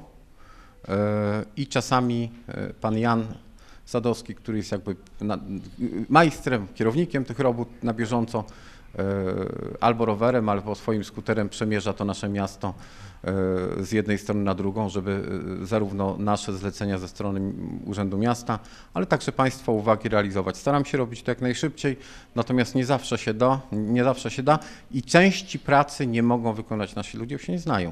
Na przykład poprawienia uszkodzonych polbruków, tak, tu musimy czekać na przykład na wykonawcę, który ma czas, na przykład usunięcie awarii i tych e, wybitych kostek na wokół e, stawu garncarskiego. Jesteśmy umówieni już z panem Żaglem, że jak tylko będzie mógł zejść z pracy przy ulicy e, Armii Krajowej, to wykona te, te, te, poprawki. Bo one wynikają, no obciążymy kosztami tutaj w tym wypadku firmę Ewix, bo to oni za, jakby zarwali ten, ten asfalt, wjeżdżając tam ciężkim beczkowozem. Czekaliśmy aż oni to usuną. Ostatecznie się okazało, że oni też nie dysponują siłami, że tak powiem, i możliwością, bo tych prac też mieli bardzo dużo. Umówiłem się, że po prostu obciążeni zostaną kosztami przez pana Żagla tych prac. E, No i tutaj taka rzecz, o której chciałbym powiedzieć, być może warto byłoby dać zdjęcie. Słuchajcie, byliśmy drugim samorządem w kraju, jeśli chodzi o taniość węgla. Jedna gmina była lepsza, bo nie doliczyła nawet kosztu transportu, bo chyba mieli skład, e, skład węgla na swoim terenie. Jedna. Już nie pamiętam jaka, gdzieś tam. E, Więc u nich kosztował węgiel 1500, a my doliczyliśmy koszt transportu tirem do Górowa. Kosztował w Górowie i Ławeckim węgiel 1550 i cała reszta samorządów w kraju miała ten węgiel droższy, a ja dodam, że dowoziliśmy ten węgiel do każdego mieszkańca naszymi siłami, nie obciążaliśmy ich już kosztem, kosztem tego wywozu. Nie, nie, nie, nie pamiętam w ilu wypadkach pomogliśmy osobom starszym przez zaworkowanie tego węgla i wyrzucenie do piwnicy. Więc myślę sobie, że zrobiliśmy to, co powinien zrobić samorząd, czyli pomogliśmy tym no, naszym mieszkańcom. W sumie 79 gospodarstw domowych odbierało, odebrało od nas e, 113 ton węgla, e, a w sumie łącznie dystrybucję, e, dystrybucja nasza dotyczyła 181 ton. E, No i harmonogram modernizacji dróg w Górowie Łoweckim. E, Ja, mamy, w tej prezentacji mamy całość, mimo tego, że te drogi realizują się jeszcze w tym roku, ale żadna inwestycja nie odbywa się w jednym roku w całości, dlatego że trzeba najpierw uzyskać, napisać projekt, uzyskać dofinansowanie, ogłosić przetarg. W przypadku tych dwóch dróg trzeba, wykonawca będzie znowu musiał wykonać projekt budowlany, wykonać roboty, więc tak naprawdę e, cały proces realizacji tego naszego harmonogramu modernizacji dróg w Górowie i Ławeckim, to tak trzeba liczyć okres mniej więcej 3,5 roku. Bo najpierw musieliśmy, nie wiem czy pamiętacie, spotkaliśmy się na e, kilku komisjach, tak, ustalając, które drogi będziemy zgłaszali do Polskiego Ładu. Najpierw to trzeba było wypracować. Potem trzeba było zgłosić się do Polskiego Ładu. Potem poczekać na ogłoszenie, ogłosić przetargi. Część prac mamy już wykonanych. Część prac mamy już wykonanych. Część prac właściwie już, tak jak podpisaliśmy dzisiaj ostatnią umowę Mamy już wykonawców, którzy albo już wykonują pracę, albo no, podpisali umowy i są do wykonania tych prac zobligowani. I tak wkrótce przebudowa Armii Krajowej w Górowie Ławeckim tu macie jako plan. Dziś ona się już realizuje. Przebudowa ulicy Słowackiego i drogi wewnętrznej ulicy Generała Bema, tam z parkingiem, to już jest zrealizowane. Przebudowa ulicy Przemysłowej, no, zrealizowane już w tej chwili jest tak. Przebudowa obrońców pokoju ciasnej Jutrzenki, umowa była podpisana w ten poniedziałek. Przebudowa dróg okrężnej, poprzecznej, krótkiej, podpisaliśmy umowę przed godziną. Mam nadzieję, że nie gadam tak długo już. E, gadam? To ja się będę skracał. E, no tu mamy zdjęcia z ulicy Słowackiego, którą udało nam się wykonać, ulicy Armii Krajowej, która jest w trakcie. Dzisiaj Państwo mieli okazję wysłuchać e, uwag. Tutaj, jeżeli ktoś z Państwa nie pamięta tej ulotki, myśmy wysłali ją jako informację do mieszkańców ze względu na to, że no wiemy, że będą ut- utrudnienia. Na pomarańczowo mają Państwo drogi, które planujemy zrealizować w latach 2022-2023, czyli właściwie jedna z nich jest zrealizowana, jeżeli popatrzycie tutaj, druga jest w trakcie realizacji. E, Na niebiesko macie drogi, które udało nam się zrealizować w ciągu ostatnich kilku lat, a na zielono e, te odcinki dróg, które planujemy zrealizować w tym roku i w następnym, czyli całe Stare Miasto oprócz Placu Ratuszowego i ulice Inwalidów Wojennych i Nadbrzeżną. Także jeżeli popatrzycie na tą mapę, to odcinki dróg na szaro to są te, które albo są w takim stanie, że jeszcze nie trzeba ich remontować. Ulica Wyszyńskiego wymaga doraźnych napraw, które być może w tym roku albo w następnym tam trzeba wyciąć po prostu techniką wycinania i tam, gdzie jest zniszczona, naprawić i ona jeszcze posłuży nam parę lat. Więc jakby tu nie, nie musimy myśleć natychmiast o jakiejś dużej inwestycji. Podobnie ulica Lipowa, e, czy ulica Szkolna, bo ją też można naprawić doraźnie, ale już można myśleć o kolejnych ulicach, jeśli chodzi o osiedla i te ulice boczne, nie? Ale co, w jakiej kolejności, e, to będziemy rozmawiali z Wami, z, z Radą Miasta, a e, skąd będziemy na to mieli pieniądze, to się dowiemy albo od premiera, albo od innych grantodawców, no bo jakby ze swoich pieniędzy tych dużych ulic nie zrealizujemy. Zawsze musimy liczyć o różnego rodzaju dotacje, na różnego rodzaju- rodzaju dotacje, no, które udaje nam się skutecznie, jak widzicie, pozyskiwać. No tu macie zdjęcie ulicy Przemysłowej, ulicy Sikorskiego. No i jeśli chodzi o inwestycje, no to to już mówiłem, tak? Inwalidów wojennych, nadbrzeżna.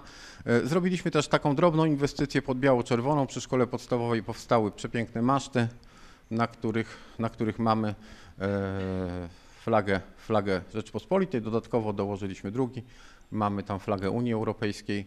E, Jako ciekawostkę powiem, że po przeliczeniu, tak jak widzieliście, z funduszy unijnych na mieszkańca pozyskaliśmy 4900 zł z kawałkiem, to od rządu Rzeczpospolitej Polskiej uzyskaliśmy kwotę na mieszkańca blisko 4800, czyli w sumie jesteśmy kwita, czyli to, co daje nam Unia i Niemcy i to, co daje nam Najjaśniejsza Rzeczpospolita, to są podobne kwoty i dlatego wiszą dwie flagi, bo i ta, i ta instytucja jest dla nas e, życzliwa. E, I tak całkiem serio, to to jest korzyść też wielka e, z tego miejsca i naszej pracy. Dobra, termomodernizacja budynku szkoły podstawowej, bardzo oczekiwana inwestycja. Udało nam się ją zrealizować. W szkole podstawowej została nam tak naprawdę do remontu hala gimnastyczna i to jest coś, o czym trzeba będzie pomyśleć. To będą też prace nasze, jeśli chodzi o inwestycje e, w oświatę na następne lata. Ja przypomnę, że mamy też zaprojektowane, zaplanowane prace nad remontem przedszkola i budynku gimnazjum. Tu mamy środki zapewnione w ramach kolejnego programu Miast Citaslow, tak, na remont i termomodernizację budynku dawnego gimnazjum i przedszkola. Więc tej pracy nam nie zabraknie. Udało nam się także przy budynku szkoły podstawowej zbudować e, pochylnię dla niepełnosprawnych. Przebudowaliśmy też chodnik pomiędzy szkołą a salą gimnastyczną. To były wszystkie rzeczy, które w trakcie robót e, zgłaszał nam dyrektor, czy zgłaszali nam nauczyciele, które warto było wykonać, a skoro już prace się toczyły, to myśmy no, dokładaliśmy te zadania, bo jak robić to porządnie. No tu plansza, tak, Polski Ład, czyli w tym wypadku ulica Słowackiego i droga wewnętrzna generała Bema. E, Tu bardzo dobre dofinansowanie było, dlatego że zwróćcie uwagę, że otrzymaliśmy blisko e, milion 400 zł dofinansowania, a nieco ponad 4 i milion 450 tysięcy złotych dołożyliśmy e, zapłaciliśmy, czyli ten nasz wkład własny jest naprawdę niewielki. E, Dalej szkoła podstawowa, utwardzenie kostki betonowej przy szkole i jak tak tego, te, jak podokładamy te, te, te rzeczy, które wychodziły w trakcie budowy szkoły, no to trochę to kosztowało. Mm, Senior Plus to jest wartość inwestycji blisko 335 tysięcy złotych. To były pomieszczenia, które gryzły mi od dawna, dlatego że one były zalane, tam był problem z kanalizacją. One stały nieużywane przez wiele lat. E, No i wreszcie przyszedł pomysł, co z tym zrobić. Udało się uzyskać dofinansowanie. Tam jest poprawiona kanalizacja, mimo tam no, budynek ma, ma, ma generalnie kanalizację, jaką ma. W tym zakresie, w którym mogliśmy podziałać, podziałaliśmy. Wyposażone miejsce, świetne miejsce spotkań naszych seniorów. E, Modernizacja oświetlenia ulicznego ulica Moniuszki, Nowowiejskiego, generała Sikorskiego to była drobna kwota, blisko 25 tysięcy złotych. E, Nadbudowaliśmy też kominy wentylacyjne na prośbę pana dyrektora na hali sportowej. E, Udało nam się również uzyskać e, dofinansowanie w ramach Szkoły Przyszłości, wyposażenie dydaktyczne Szkoły Podstawowej w Górowie Łoweckim.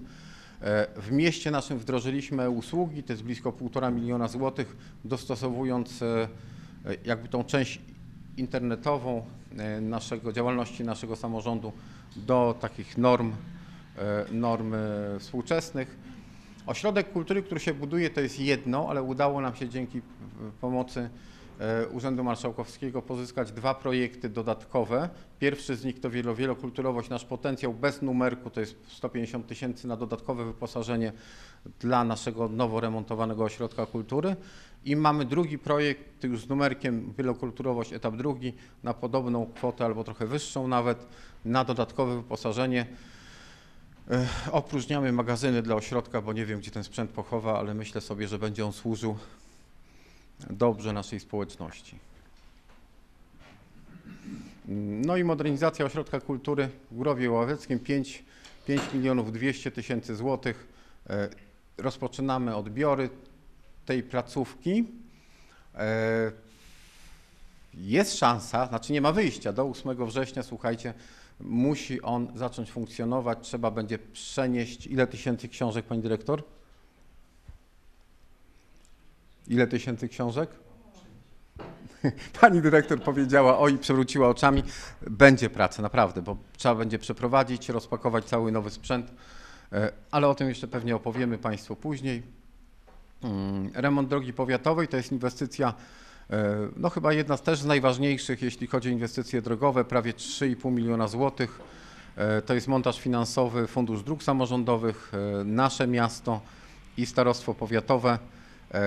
Mogliśmy nie robić, bo tu akurat dofinansowanie jest mniejsze niż na innych drogach, na innych mamy świetne, tutaj jest nie takie świetne, ale mm, ja się nie odważyłbym, słysząc głosy mieszkańców, nie robić tej drogi. Zresztą podjęliśmy tę decyzję wspólną, wspólnie za co dziękuję i ta droga jest robiona. E, No i dostawa średniego samochodu, e, to zakup będzie zrealizowany w tym roku, ale strażakom nieopatrznie obiecaliśmy z panem radnym Łukaszem Rochuniem w zeszłym roku, że samochód będzie szczęśliwie. e, Obiecaliśmy, że będziemy się starali i na szczęście dla strażaków i z pewnym kłopotem dla naszego budżetu ten samochód otrzymaliśmy. I myślę sobie, że jesienią już ten wóz będzie stał w naszej remizie i będzie ratował zdrowie i życie i mienie naszych mieszkańców. Chyba nawet mamy mniej więcej obrazek tego samochodu, jak on będzie wyglądał, bo jesteśmy po przetargu. To chyba Volvo będzie, ja tam się nie znam na samochodach. Tak? O, pan Łukasz Rochoń potwierdza, że będzie Volvo. E, Taki sobie strażacy wybrali. No i parę zdjęć naszego ośrodka kultury. Ja myślę, że całkiem niedługo wszyscy z Państwa będą mogli obejrzeć. E, Kupiliśmy także dzieciom z rodzin popegerowskich komputery, poprawiliśmy bezpieczeństwo inf- informatyczne naszej gminy e, poprzez realizację w MOPS-ie programu Cyfrowa Gmina. E, Nowe komputery, serwery, no nie da się żyć bez tego po prostu we współczesnych czasach. W szkole podstawowej poprawiliśmy oświetlenie IWC na kwotę 50, blisko tysięcy złotych. No i dofinansowaliśmy ostatecznie zakup radiowozu dla komendy powiatowej, a tak naprawdę dla naszego e, komisariatu, zawsze komisariatu, komisariatu w Górowie Łoweckim, bo zawsze nasi policjanci mi poprawiają, jak powiem po stronniku, mamy komisariat, proszę Państwa. E, Parę zdjęć odnowionej szkoły podstawowej. Ten budynek przestał straszyć, zaczyna, zaczął wyglądać tak jak, tak, jak powinna wyglądać nasza szkoła. E, No i nowoczesny sprzęt, wirtualna rzeczywistość, e, a to pewnie pan dyrektor pan powie więcej, nie będę tutaj przedłużał. E, Bardzo dużo rzeczy zrobiliśmy w ramach ochrony środowiska. E, Na przykład 4000 kontroli na nieruchomościach jednorodzinnych. Weryfikowaliśmy e, to, jak segregowane są nasze odpady. E, Głównie była to oczywiście praca związana z edukowaniem mieszkańców, tak? Poziom recy- recyklingu wyniósł e, 25% z, z, ułamkiem, tak? No sporo tych odpadów wytwarzamy i no niestety z roku na rok ta, ta ilość rośnie. Mm, Co ciekawe, z takich ciekawostek, 80 worków nakrętek zebraliśmy z terenu naszego miasta do tych naszych e, e, serduszek, co daje blisko e, tona przecinek e, 200 kg plastiku, które zostały przekazane na cele dobroczynne.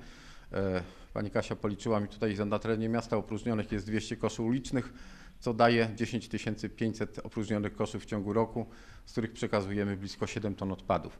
To tak jak czasami Państwo narzekają, że te kosze są nieopróżnione w tempo, ich jest naprawdę 200, a pracowników, którzy je opróżniają na bieżąco jest dwóch. Staramy się robić to sprawnie e, i prosimy trochę, o trochę, trochę e, wyrozumiałości. Uprzątniliśmy, naprawiliśmy 14 zgłoszeń dotyczących nielegalnych wysypisk. Reagujemy, staramy się reagować na bieżąco. Usunęliśmy 12 drzew. W każdym wypadku zagrażało bezpieczeństwu mieszkańców. Były one albo uschnięte, albo wiatrołomy. E, W zamian za to, w ramach e, uzupełniania naszej biosfery posadziliśmy 24 drzewa i 1015 krzewów i innych roślin zielonych. E, Czytać co? To ja planszę pokażę tylko.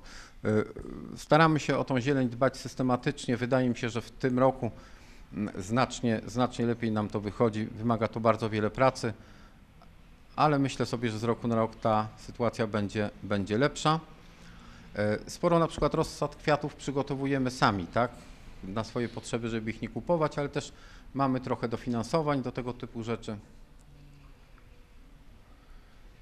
Mamy na terenie miasta zamontowany czujnik jakości powietrza i general, generalnie nasza jakość powietrza jest od dobrej do bardzo dobrej, ale są dni, kiedy mamy bardzo dużą ilość pyłów zawieszonych. Rzadko to się zdarza, e, szczególnie kiedy mamy przyduchę tak zwaną, tak, w powietrzu, to czasami te procenty są bardzo wysokie, ale są to bardzo pojedyncze wypadki, także generalnie no nie ma co narzekać na jakość powietrza na terenie naszego miasta. E, W zeszłym roku odebraliśmy z zamieszkałych i niezamieszkałych blisko, no nieco ponad 900 ton odpadów, e, a posegregowanych tych odpadów było blisko 400 ton. No i tu macie strukturę odpadów komunalnych, e, ogółem, e, czyli wszystkie razem, zielone to selektywne, czerwone nieselektywne, no i nad zmianą proporcji tych słupków pracować nam jeszcze przyjdzie. E, Opłata za gospodarowanie odpadami dzięki ciężkiej pracy e, pani Katarzyny, ale także naszych pracowników, tak, e, za- zagospodarowanie kompostu z, z miejskich kompostowników na przykład. Wygląda to całkiem nieźle, bo dopłacamy do systemu śmieciowego z podatków, co jest już ostatnio zgodne z prawem 145 tysięcy. E, To dzięki mądrym decyzjom państwa radnych, za które dziękuję. E, No nie jest to duża kwota. Myślę, że na dzień dzisiejszy nie będziemy wnioskowali pani skarbnik o podniesienie ceny s- opłaty za e, śmieci. No i tutaj na tym wykresie, jeżeli ktoś chciałby popatrzeć, e, struktura odpadów segregowanych. Jak widzicie, najwięcej jest oczywiście tworzywa sztucznego i odpadów bio. I wydatki miasta to blisko 30 milionów 763 tysiące i najwięcej wydatków to rodzina i pomoc społeczna to blisko 10 milionów, oświata i wychowanie blisko 8 milionów 400 tysięcy. E, No to takie największe, to tak żeby nie przedłużać, przejdziemy dalej. I w związku z tym dziękuję Państwu za uwagę, ale ze względu na to, że chciałbym pokazać Wam, co robią inne jednostki, a ich praca składa się także na to, co robi samorząd i w konsekwencji za to, co robi burmistrz, chociaż co do zasady wiecie, jak coś jest dobrze zrobione, to nikt nie pochwali, ale jak oni coś zepsują, to, że tak powiem, e, e, głosy krytyki słyszę ja. Zapraszam na początek Pana Dyrektora Hawrylca, a ja pozwolicie, że podziękuję i zajmę miejsce na widowni. Przygotowanie i przedstawienie raportu o stanie gminy. Myślę, że te informacje, które tutaj pan, przedstawiał Pan Burmistrz, my jako radni i Wysoka Rada znamy, ale ta, ta prezentacja na pewno była ciekawa dla mieszkańców. Bardzo proszę Pana Dyrektora Dariusza Hawrulca o przedstawienie krótkiej informacji na temat funkcjonowania Szkoły Podstawowej w Górowie w roku 2002. Ja postaram się syntetycznie, biorąc pod uwagę to, że już trochę czasu Państwo oglądacie, a wiadomo, skupić uwagę zbyt długo się nie da. E, moja prezentacja jest. E, tak, chciałem powiedzieć na początku. Mamy dwa budynki i okres, który dla szkół jest taki nie za bardzo, dlatego wziąłem, zacząłem od e, roku 21, od września, bo tak rok szkolny i do końca roku kalendarzowego, czyli tak praktycznie do końca e, pierwszego półrocza obecnego roku szkolnego. Jak to się robi? A, rolką. No.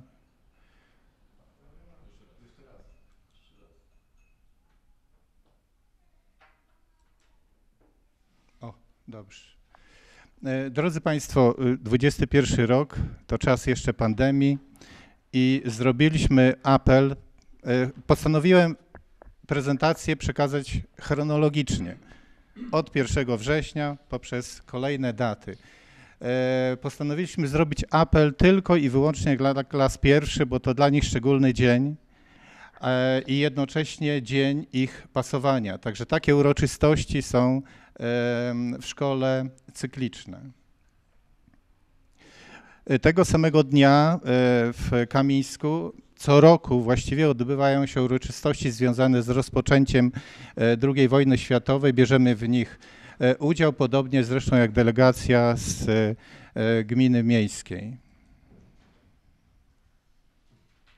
Hmm. Nie wiem, co się dzieje.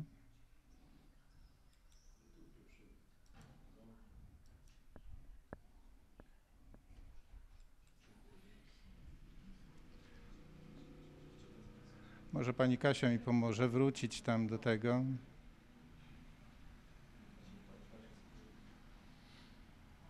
To.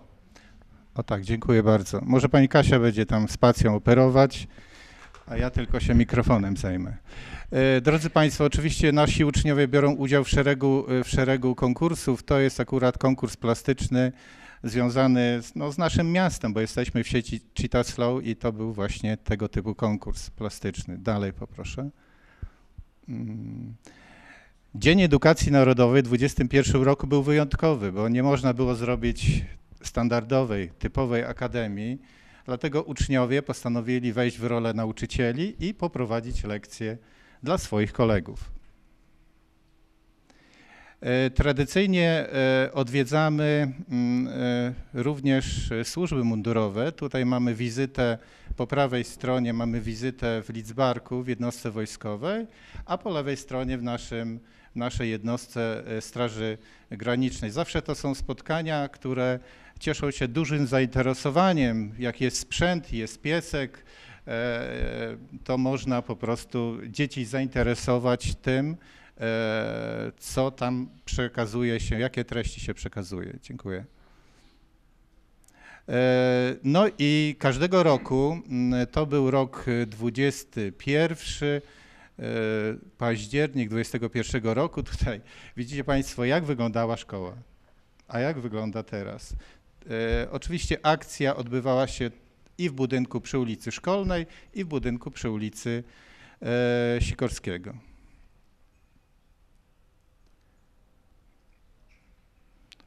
duże zdjęcia są i dlatego do tyłu proponuję i do przodu.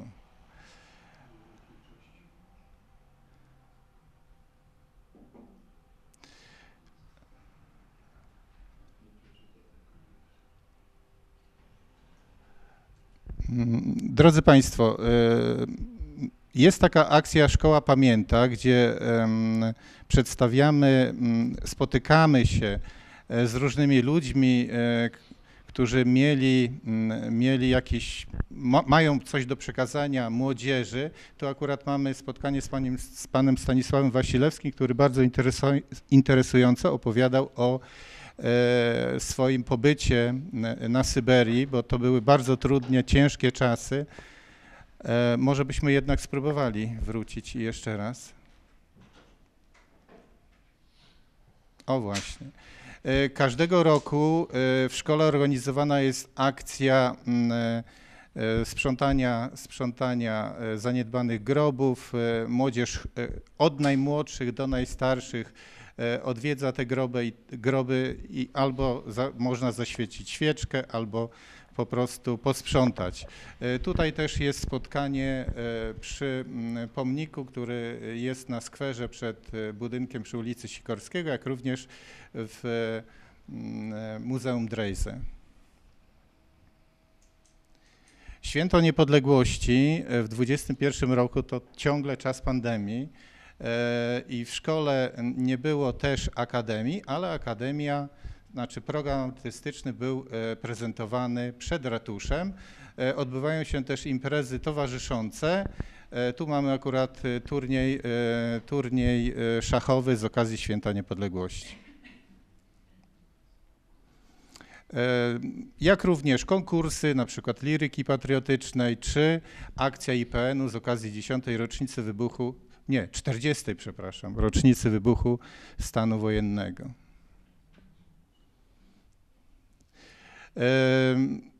Są też akcje, nie tylko mówiono czy działano w kierunku koronawirusa, bo on zagościł w naszym życiu na bardzo długo, ale również e, ciągle aktywnym jest e, e, wirus HIV i dlatego mamy też 1 grudnia taki dzień, kiedy uświadamia, mamy akcje uświadamiające, jak tego wiru, jak nie zakazić się tym wirusem.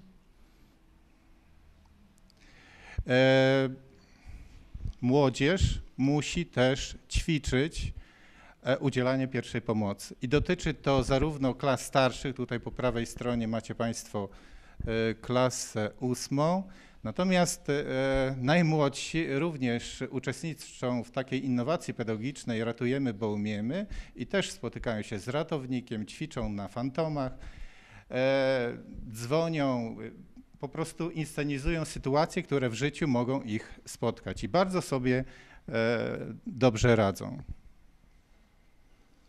Mm, Tutaj mamy też okres przedświąteczny, to jest e, czas, e, kiedy kiermasze em, organizujemy, jak również czas mikołajkowy, no i oczywiście tradycyjną sprawą są wigilie klasowe. Oczywiście w szkole działa również e, szko- SKW, Szkolne Koło Wolontariatu e, i uczestnicy e, bardzo często biorą udział w różnego rodzaju zbiórkach. Tutaj mamy akurat zbiórkę na rzecz pogorzelców z Gałajn. E, Niżej mamy fotografię, gdzie dzieci zbierały słodycze dla Domu Dziecka w Bartoszycach.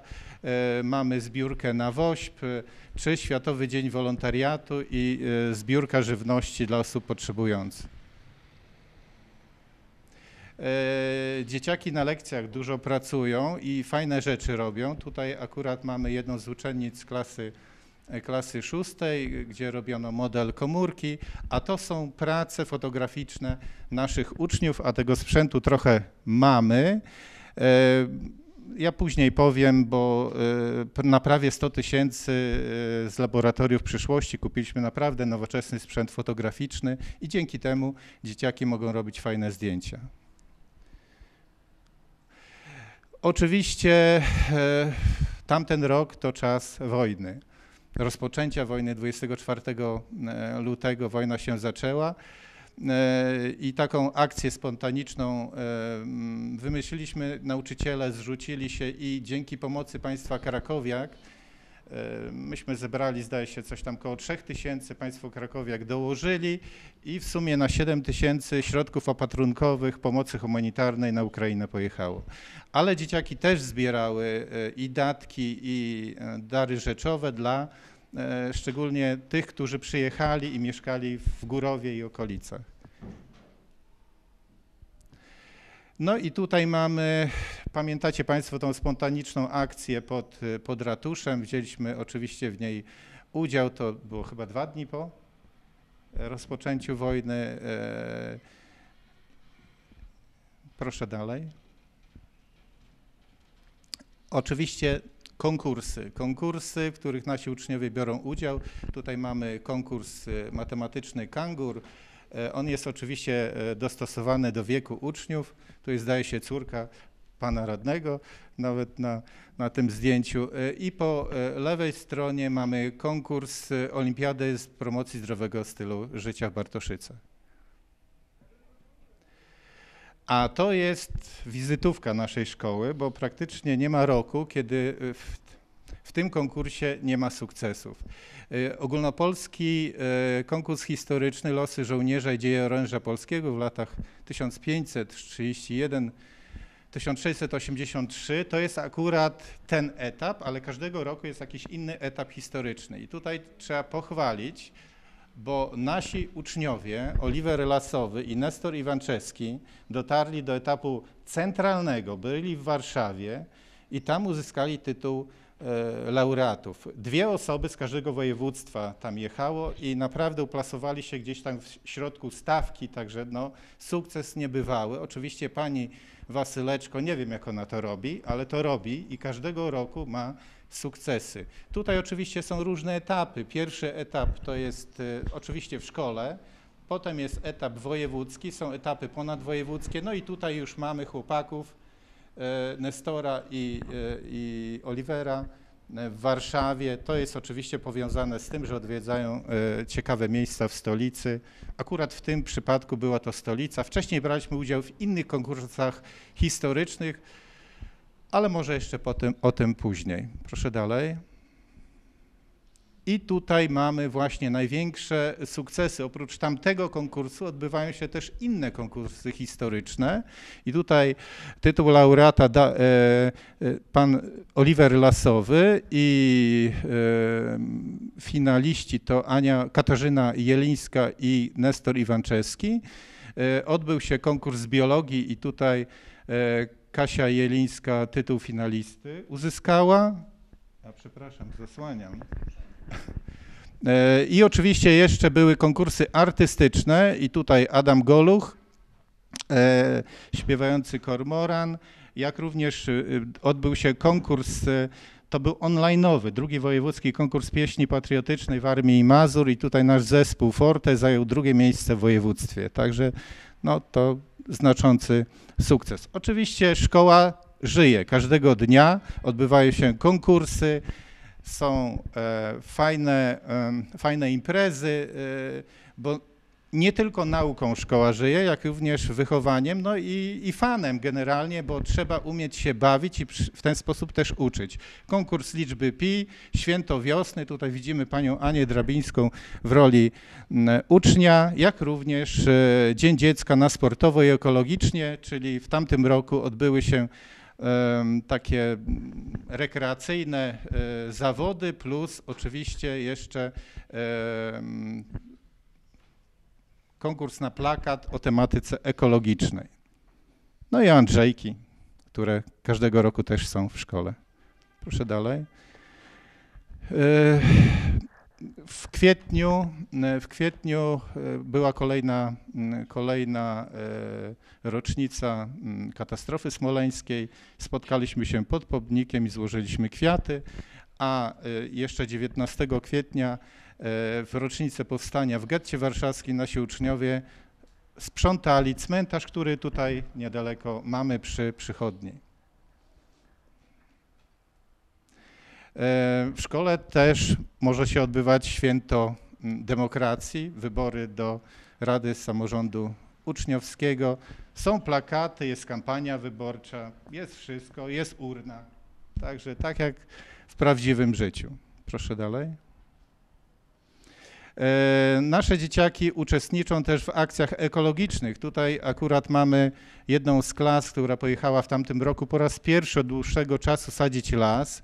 E, Dzieciaki też e, zbierały śmieci z okazji e, Dnia Ziemi, jak również najmłodsi spotykali się z firmą EcoBart i uczyli się segregacji śmieci. Jednym z elementów edukacji są zajęcia związane z kierunkiem wyboru przyszłego zawodu i tu akurat wycieczka taka, e, tego typu do mm, naszej fabryki e, mebli. Jedna z klas ósmych poszła, żeby zobaczyć, jak to się wszystko tam odbywa. E, Światowy Dzień e, PCK i Czerwonego Półksiężyca, są akcje, jest konkurs, e, są pokazy, e, jak, e, jak ratować e, ludzi, także po raz kolejny e, dbamy też i o bezpieczeństwo. E, Rocznica 3 maja, już mogliśmy się spotkać, poluzowania nastąpiły i apel z okazji święta Konstytucji 3 maja. E, Kolejnym etapem na zakończenie e, klas ósmych jest egzamin ósmoklasisty. On e, wcześniej odbywał się e, w kwietniu. Uważam, że dobrą rzeczą było przeniesienie go na maj, bo jest więcej czasu na przygotowanie. To jest powiedzmy taka mała matura dla uczniów i każdy do e, tego egzaminu musi przystąpić, jest to warunkiem ukończenia szkoły. Tutaj mamy też turniej szachowy, e, zawsze w czerwcu, w tym roku też się odbył, turniej e, szachowy z okazji obchodów e, warmińsko-mazurskich Dni Rodzin. No i zakończenie roku szkolnego, nagrody, podziękowania, pamiątkowe dyplomy. Najlepsi u nas uzyskują e, nagrodę specjalną, to jest nagroda złotego, srebrnego i brązowego, brązowego liska dla tych osób, które, e, które uzyskają najwyższą średnią, plus do tego oczywiście wybieramy uczniów do nagrody burmistrza. No i tutaj właśnie dwie rzeczy, o których należy wspomnieć. To jest e, Szkoła Przyszłości, projekt, który tak naprawdę zaczął się w 2021 roku, ale realizacja to była od stycznia do czerwca roku 2022. E, Tego sprzętu, e, bo tam widzieliście Państwo 311 tysięcy, e, to jest ogólna suma projektu, natomiast samego sprzętu było na około 130 tysięcy. Jaki to sprzęt, za chwilkę Państwo zobaczą. Osiem grup uczniów, każda z grup do 14 osób i zajęcia językowe z przedsiębiorczości, jak również zajęcia e, STIK-u, czyli zajęcia komputerowe. E, Ale jednocześnie załapaliśmy się na laboratoria przyszłości, tutaj 96 tysięcy na sprzęt, mówiłem wcześniej o o fotografii, o innym sprzęcie na 96 tysięcy. To macie Państwo wyszczególnione, co to tak naprawdę było. Drukarka 3D mamy dwie e, w szkole. Dzieciaki robią sobie wydruki, mogą, mogą tak naprawdę wymyślić wszystko i wydrukować wszystko. No może bez przesady, ale, ale bardzo dużo takich fajnych gadżetów drukujemy po prostu na swoich drukarkach. Proszę dalej. I tu Państwo macie, y, ta tylko drukarka kosztuje ponad 11 tysięcy. Y, Nowa sala komputerowa, y, wszystkie komputery wymienione, to z projektu unijnego. Tutaj właśnie zajęcia STIK-u, y, programowania, robotyka, tego typu zajęcia dzieciaki w tamtym roku miały. No tu jest właśnie e, zajęcia z programowania, tutaj zajęcia, a właśnie w ramach e, jeszcze e, remontu e, i mm, zakupu wyposażenia z projektu unijnego. Mamy dwie sale językowe, takie z prawdziwego zdarzenia po lewej stronie, no i tutaj gogle wirtualnej rzeczywistości, kiedy można sobie na przykład popodróżować po starożytnym Rzymie albo nie wiem, polecieć w kosmos i zobaczyć jak to, jak to wygląda. Kilka fotografii szkoły. Widzieliście przed chwilą, jak wyglądała szkoła na zdjęciach e, z akcji Peposz. Tak wygląda ona teraz. E, Naprawdę jest na czym oko zawiesić. Oczywiście zawsze są jakieś potrzeby, zawsze coś wyskoczy, ale takie cieszę się bardzo, że pan burmistrz i wy, państwo też, e, daliście się przekonać do tego, żeby przy okazji termomodernizacji robić te wszystkie e, rzeczy i oczywiście podziękować za wsparcie e, wszędzie tam, gdzie pieniążki dawano. Czyli panu marszałkowi pewnie i, i, i innym pieniądzom, które gdzieś tam skądś wpłynęły. E, I tutaj szczególnie chciałem podziękować panu Edwardowi, który no, bardzo dużo mi pomógł. I pani skarbnik oczywiście też. E, Ja mówię o takiej pomocy codziennej, natomiast pani skarbnik wiadomo, jak nie sypnie kasą, to nic się nie da zrobić. Dobrze, jedźmy dalej. E, Oczywiście przy okazji termomodernizacji, zmiany dachu, wy, wykonano właśnie coś, co nie było w planie, mianowicie wymiana, całkowita wymiana instalacji e, elektrycznych, lampy, nowe korytarze, to wszystko błyszczy świeżością i teraz aż się chce do tej szkoły e, wejść. Oczywiście plany są kolejne, ale to jest naprawdę bardzo, bardzo taki solidny, e, solidny etap. E, No i sukcesy, oprócz naukowych, są też sportowe. Tutaj Państwo widzicie dokonania pana Narkiewicza. E, Największym sukcesem, oczywiście swoich zawodniczek, największym sukcesem było e, trzecie miejsce w zawodach Mistrzostwach Województwa Piłce Siatkowej Plażowej Dziewcząt. Ale są też inne, które możecie Państwo sobie tutaj odczytać. Jedziemy dalej. E, Mamy też sukcesy pani Klimko i tutaj też było trzecie miejsce w województwie w mini piłce siatkowej dwójek dziewcząt. E, Tu mamy pana Gajdamowicza i pierwsze, drugie, trzecie miejsce w powiecie w różnych, e, w różnych zawodach, jak również Daniela Wierzbowskiego, pierwsze, drugie miejsce w mistrzostwach e, powiatu w piłce nożnej Dalej. Oczywiście koniec roku szkolnego, wycieczki szkolne to są takie momenty, kiedy młodzież e, może poznawać Polskę, poznawać ciekawe miejsca. Okazuje się, że bardzo atrakcyjne dla młodzieży są nawet nie, nie miasta, no bo widzimy wizytę w Warszawie, ale takie tak zwane zielone szkoły. To rozwija umiejętności interpersonalne, a poza tym pozwala oderwać się od komórki. Okazuje się, że to wcale takie proste nie jest. E, oczywiście w różne miejsca, różne grupy wiekowe jeżdżą. Proszę dalej. E, przechodzimy do, jeszcze zostało nam jedno półrocze obecnego roku szkolnego. Oczywiście przyspieszamy. Tak, e, oczywiście uroczyste rozpoczęcie, e, podobne, e, podobne rzeczy jak w Kamińsku, w obu szkołach w tym, e, w tym roku były. Dalej. E, Dzień Edukacji, już mogliśmy e, spotkać się w hali. E, Mamy tutaj nagrodzonych nauczycieli, jak również pracowników, może nie widać pracowników obsługi, no i te maszty, o których wspominał pan, pan burmistrz wcześniej. Dalej. Mm, Różne akcje, wydarzenia szkolne, konkursy, spotkania, które odbywają się w szkole. E, Pomagamy również potrzebującym, zbieraliśmy nakrętki, zebraliśmy ich około tony.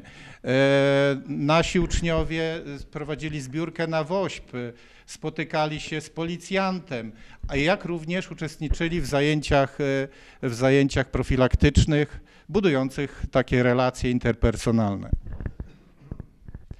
E, Święto Niepodległości to i Akademia bardzo podniosła, uroczysta, jak również impreza towarzysząca, czyli turniej, e, turniej szachowy. E, Tutaj mamy też współpracę z Uniwersytetem Trzeciego Wieku. Ja bardzo się cieszę, że panie wręcz, e, może inaczej, panie, bardzo się cieszę, że panie, które pracują w Uniwersytecie Trzeciego Wieku, spotykają się z dziećmi, bo dzieci mają okazję korzystać z ich doświadczenia.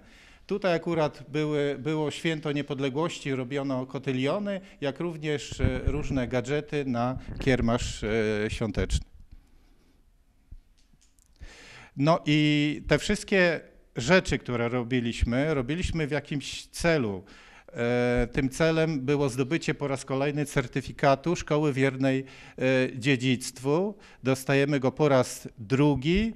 E, I tutaj e, chyba warto mm, jeszcze podkreślić to, że pani Aleksandra Wasyleczko, która no, jest takim dobrym duchem tego projektu, zbiera te wszystkie informacje i wiele, wiele rzeczy e, pilnuje w szkole, żeby się wszystko zgodnie odbywało, została uhonorowana poprze, przez IPN i wojewodę warmińsko-mazurskiego jako osoba, która wprowadziła największą liczbę uczniów do konkursów historycznych, tych różnych, o których mówiłem wcześniej.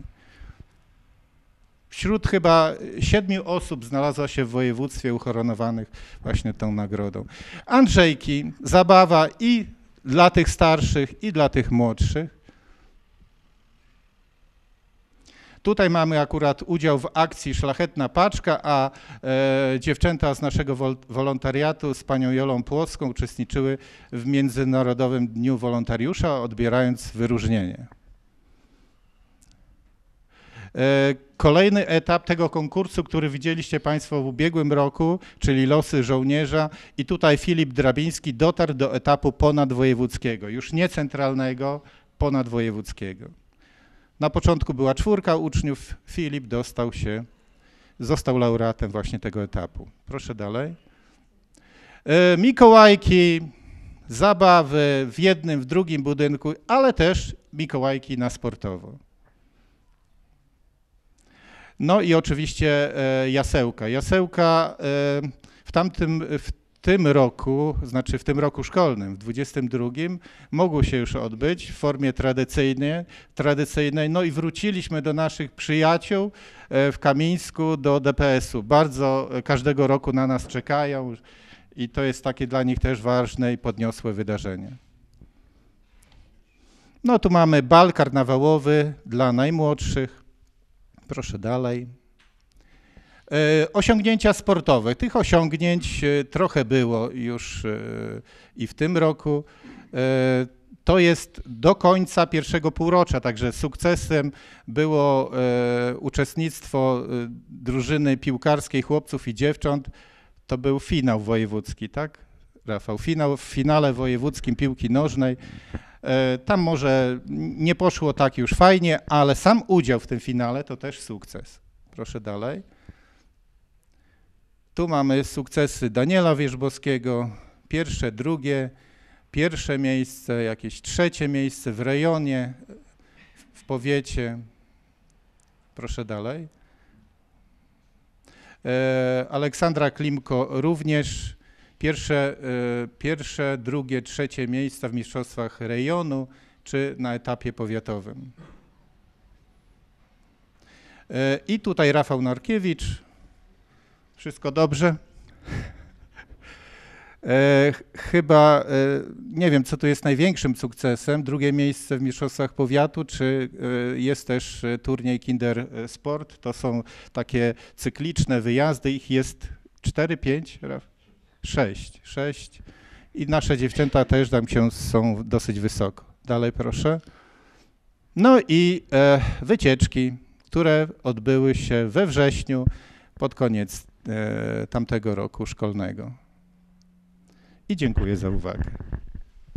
Dziękuję bardzo dyrektorowi Hawrylec. E, Była to bardzo, proszę jeszcze, proszę się nie odwracać jeszcze, była to bardzo interesująca wycieczka e, szkolna dla nas tutaj radnych. Bardzo wiele się dzieje. dzieje.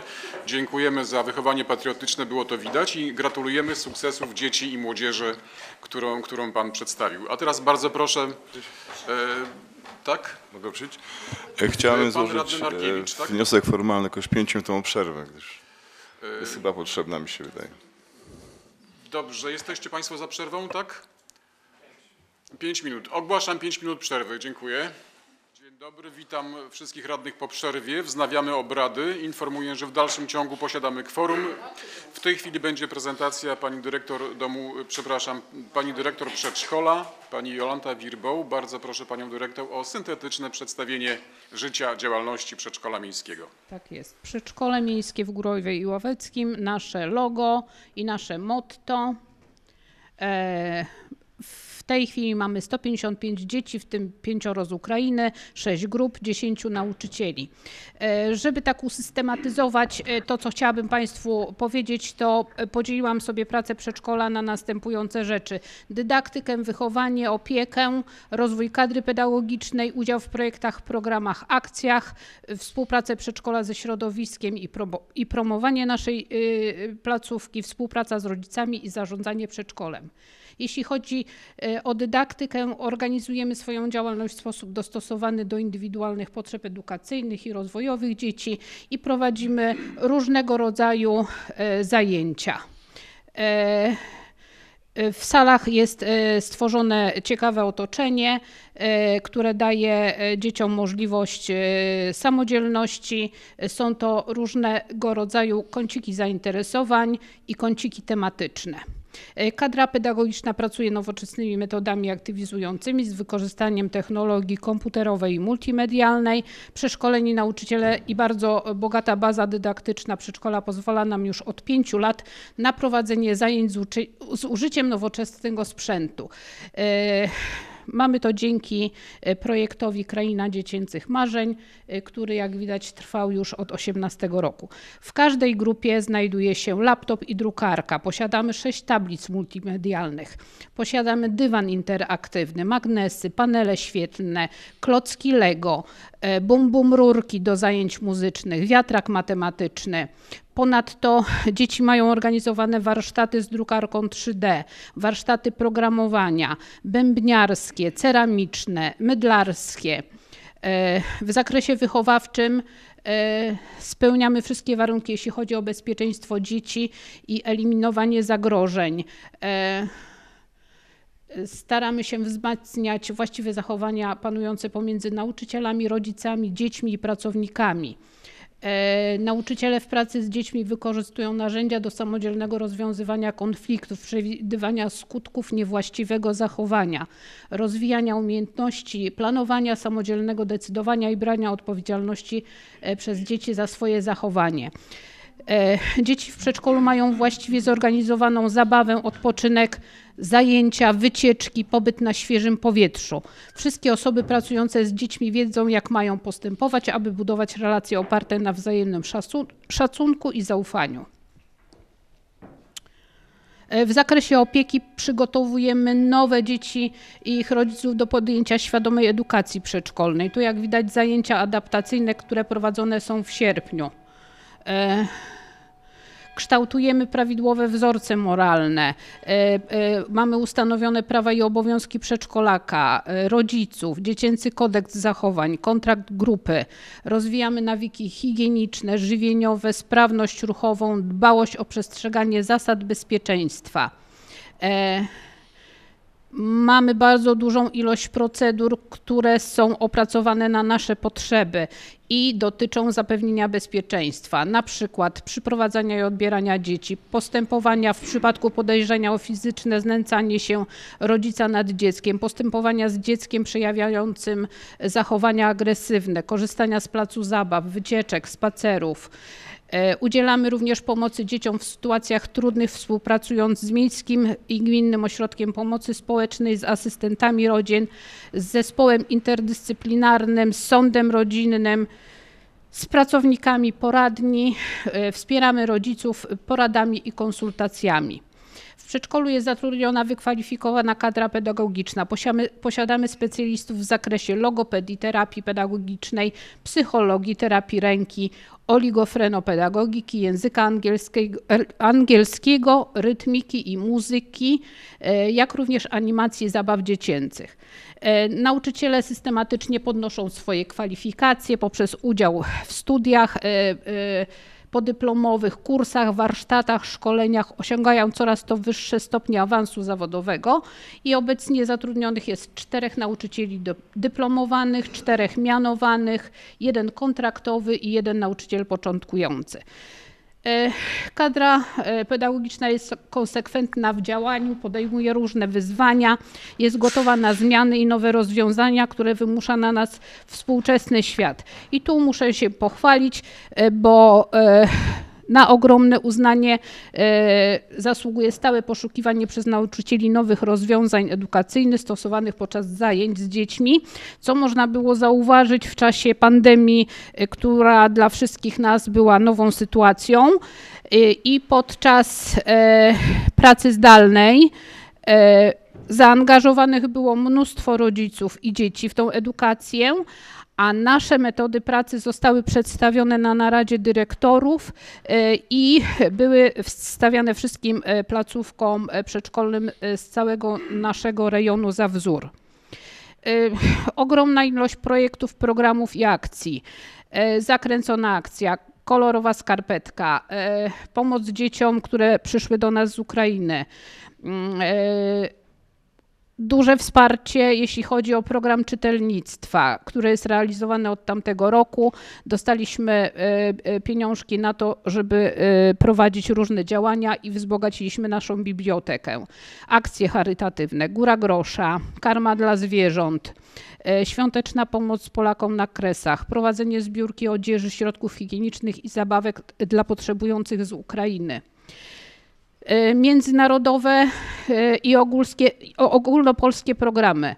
e, Zdrowia psychicznego przyjaciele Zipiego, Mali Wielcy Ratownicy, Czyste powietrze wokół nas, ogólnopolskie projekty edukacyjne z języka angielskiego, Piękna Nasza Polska Cała, Dzieciaki Mleczaki i inne akcje, między innymi listy do ziemi, sprzątanie świata, karma dla zwierząt, czy to schroniska, czy z lasu i mnóstwo innych akcji. Mm. E, Cykliczne spotkania, które się odbywają cały czas w przedszkolu, to są bezpieczne, e, bezpieczny przedszkolak, bezpieczne wakacje. E, Przeprowadzane są próbne ewakuacje. Prowadzimy akcje pod patronatem ministra edukacji, Rekord dla Niepodległej, Szkoła Pamięta i Szkoła do Hymnu. Są u nas dni specjalne, Dzień Praw Dziecka, Dzień Pluszowego Misia, Dzień Kropki, Dzień Uśmiechu, Dzień Chłopaka, Dzień Dziewczynki, Dzień Wiosny, Dzień Przedszkolaka, Dni Rodziny. Gdzie pani skarbnik spędza najchętniej czas? Z rodziną. E, Międzynarodowy Dzień Postaci z bajek. Mamy cykliczne uroczystości, imprezy przedszkolne, pasowanie na przedszkolaka, Dzień Edukacji Narodowej, Dzień Niepodległości, pokazy mody patriotycznej, e, Andrzejki, Mikołajki, Jasełka, Dzień Babci i Dziadka, mm, bal karnawałowy, konkursy, e, pi- konkurs piosenki recytatorski, plastyczny. E, z- W ogromnym obszarze współpracujemy ze środowiskiem lokalnym i promujemy e, naszą działalność na terenie miasta. Tu jak widać współpracujemy naprawdę prawie ze wszystkimi instytucjami. E, Bierzemy udział w różnych działaniach miasta związanych z, z siecią Citaslow. Organizujemy wycieczki do instytucji miejskich, zapoznajemy z różnymi zawodami, e, bierzemy udział w imprezach i turniejach wiedzy, w konkursach na różnych szczeblach.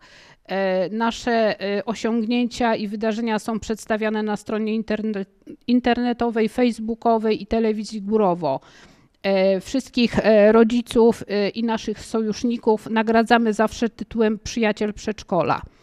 E, Mamy mnóstwo wypracowanych e, form współpracy z rodzicami, e, którzy aktywnie uczestniczą e, w całym e, życiu przedszkola.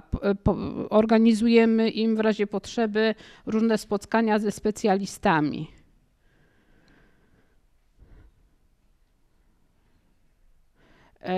Jeśli chodzi o zarządzanie przedszkolem, e, to wszystkie rzeczy, które są związane z naszą dokumentacją są prowadzone na bieżąco. Współpracujemy z organem prowadzącym, z organem nadzoru pedagogicznego. Mm, e,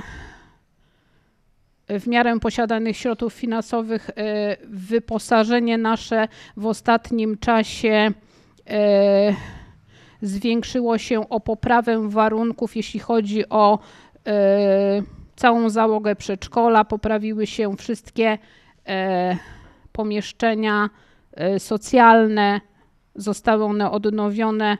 Zakup tylko farb i innych rzeczy, a dzieło e, wspólne, jeśli chodzi o pracowników.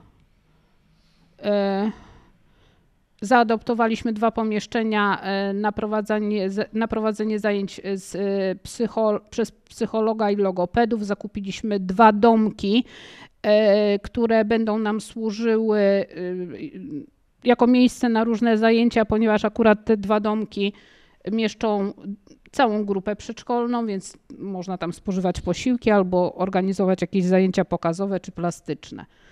Odnowiliśmy no tu jeszcze dalej pomieszczenia gospodarcze, łazienka dla personelu, łazienka dla dzieci.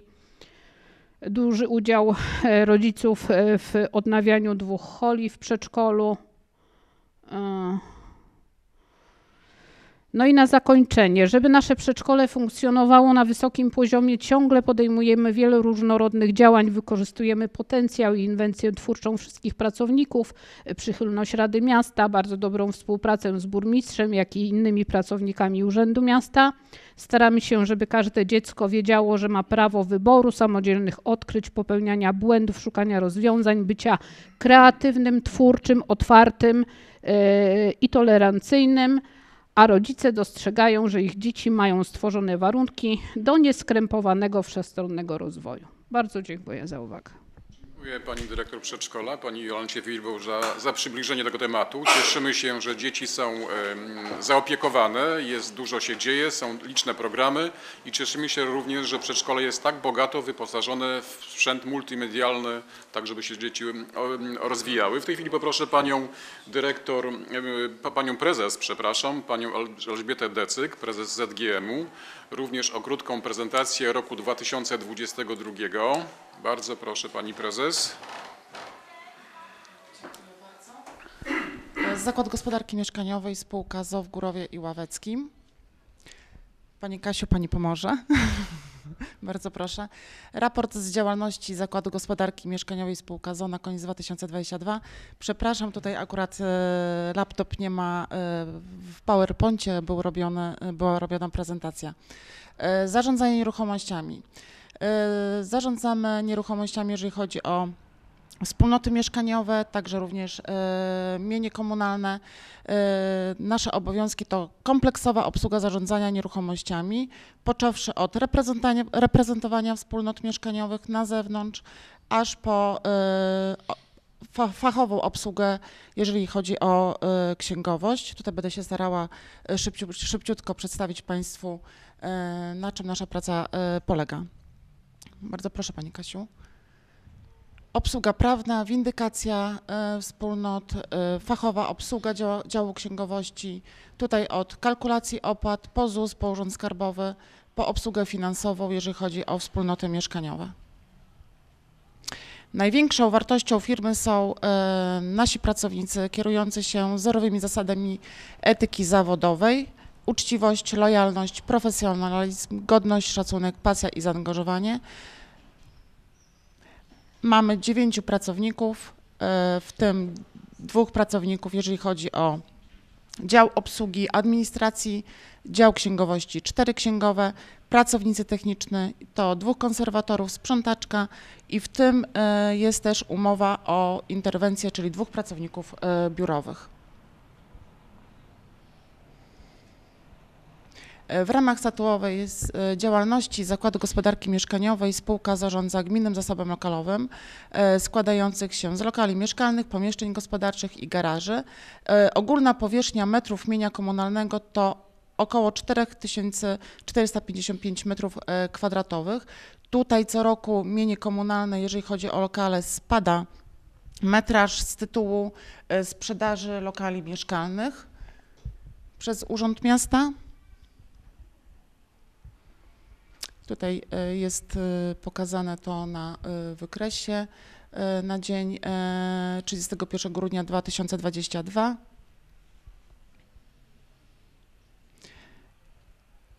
Czyli jest, zaczynaliśmy pracę w, ja tak przedstawiłam 2019, a 2022. W 2019 roku mieliśmy 6332 tysięcy metrów kwadratowych, a w 2022 roku, na koniec roku, to jest 4,5 tysiąca metrów kwadratowych, to jest obraz y, przedstawiający sprzedaż lokali mieszkalnych, jeżeli chodzi o y, Urząd Miasta, a mieszkania swoje własnościowe. E, Administrator wspólnot mieszkaniowych. Wspólnoty mieszkaniowe mamy pod e, e, już metrażem ponad 38 tysięcy metrów kwadratowych, w tym 110 budynków wspólnot mieszkaniowych składających się z 764 lokali. E, Co roku, i tutaj mnie bardzo mocno, bardzo cieszy, że e, nasz zakład e, wybija się nawet również nie na terenie tylko Górowa, bo podjęłam współpracę z miastem Bartoszyce i tutaj też od stycznia 2023 e, współpr- współpracuję z mieszka- wspólnotami mieszkaniowymi na terenie Bartoszyc i tutaj nasz metraż z powodu właśnie tego, że podpisujemy nowe umowy na zarządzanie nieruchomościami, co roku wzrasta. W 2019 roku mieliśmy około 30 tysięcy metrów kwadratowych wspólnot mieszkaniowych. 2022 jest to już ponad 38 tysięcy metrów kwadratowych. Prowadzimy nadzór nad pracami remontowymi e, we wspólnotach mieszkaniowych. Tutaj co, e, zaczęłam się cieszyć, że pan burmistrz podpisał na remont dróg ulicy Krasickiego, e, bo to jest dobry początek, abyśmy my jako zakład zaczęli też rozmawiać z mieszkańcami i te rozmowy już się odbywały na temat remontu dachu czy remontu elewacji.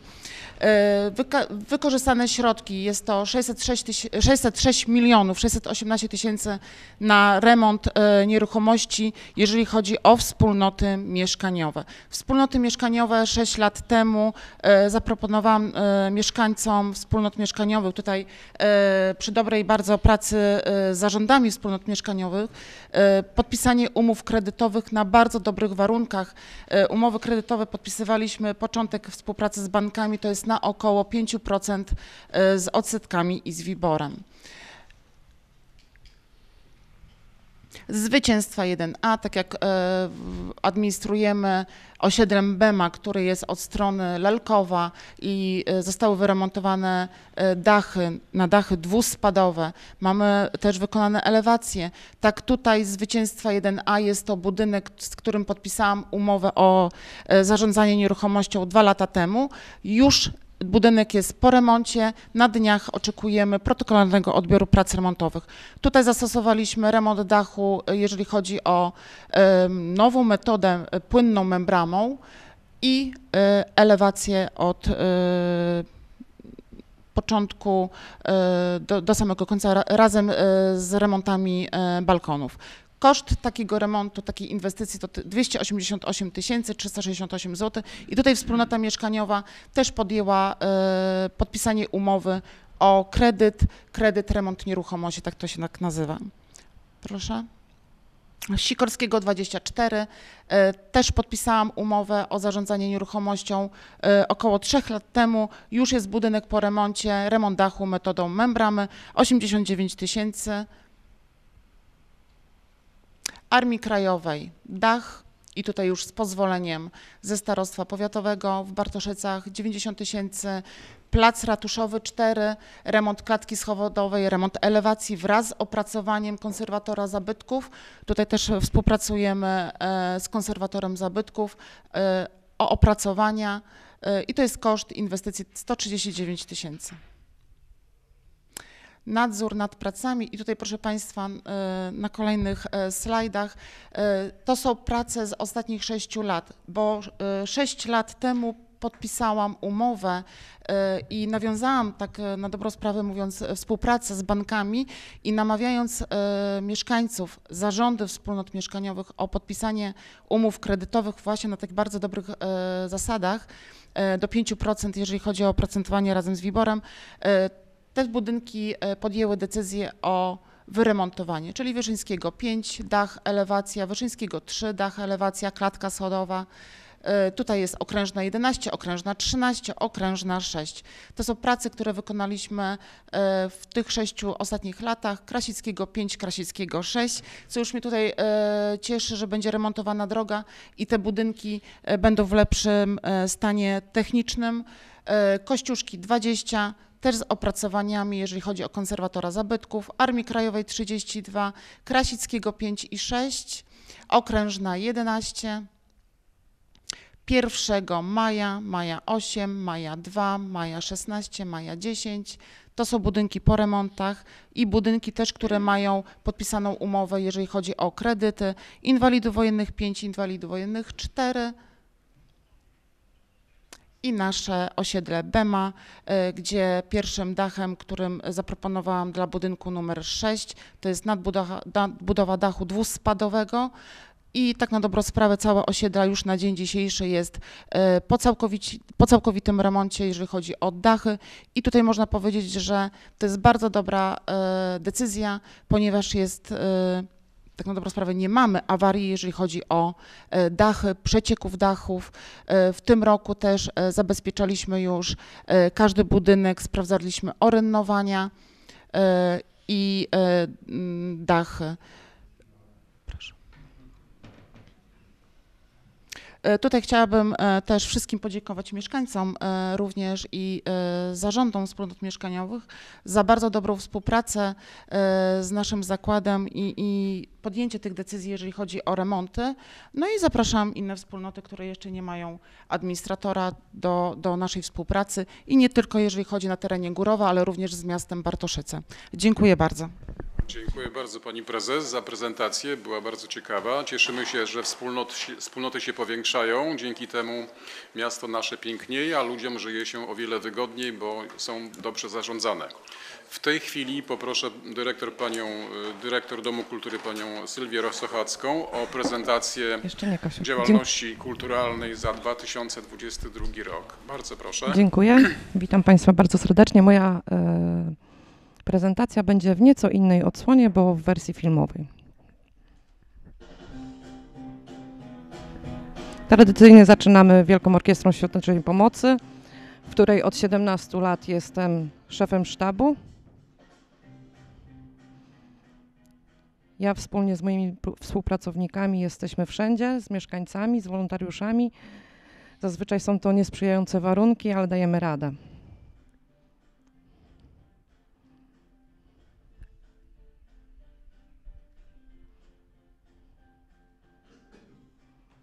To jest pierwszy wyjazd w tamtym roku, w którym rozpoczęliśmy rok kulturalny. Byliśmy w Filharmonii, na balecie wirskim.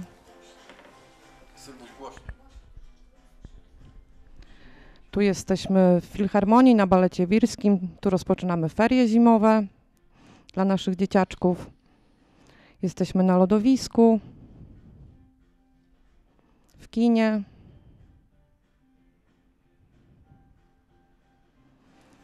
W McDonaldzie oczywiście obowiązkowo, bo to największa frajda. Zajęcia taneczne. Piekarnia więzienna, gdzie dzieciaczki piekły bułeczki i chlebek. Frajda. Można było zamknąć się w celi.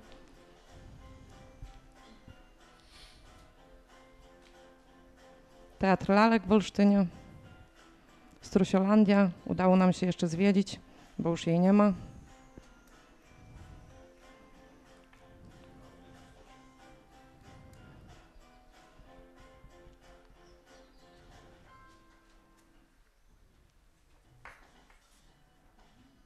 Tutaj odbył się pierwszy koncert charytatywny. Właśnie zbieraliśmy datki na przekazanie dla Ukrainy. Koncert Andrzeja Białeckiego.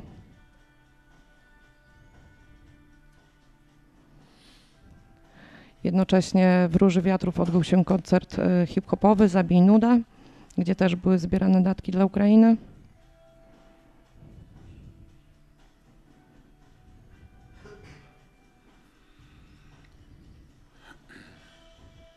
Pierwszy Górowski Festiwal Tańca, w tamtym roku zapoczątkowaliśmy. Przyjeżdżają oprócz naszych grup tanecznych, gdzie jest cztery już, przyjeżdżają y, z pobliskich miejscowości, z Bartoszyc, z Sempopola, z Lelkowa.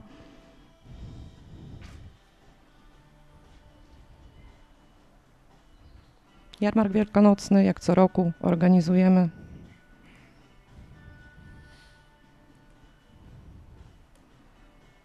Z roku na rok coraz więcej wystawców mamy, także cieszę się dużym zainteresowaniem. Warsztaty wielkanocne. Odwiedziliśmy też przedszkole. Pracownicy ośrodka mają zakupione przepiękne stroje.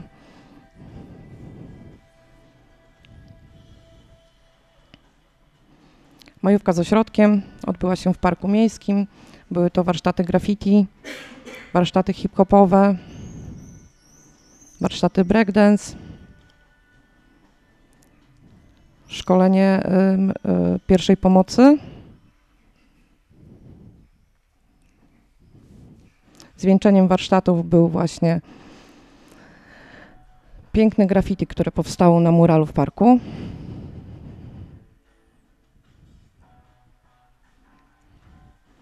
Pierwsza edycja biegu ślimaka. Biegi dla dzieci na Stadionie Miejskim połączone z Dniami Rodziny, z festynem, gdzie rodziny czynnie wzięły udział.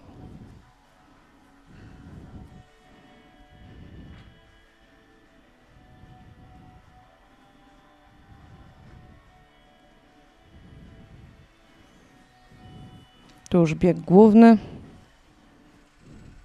Trasa Górowo-Lidzbark-Warmiński. Tu festyn rodzinny.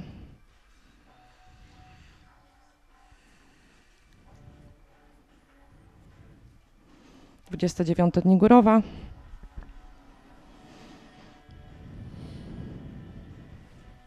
Nagrody dla najlepszych uczniów. Koncerty zespołów zaproszonych.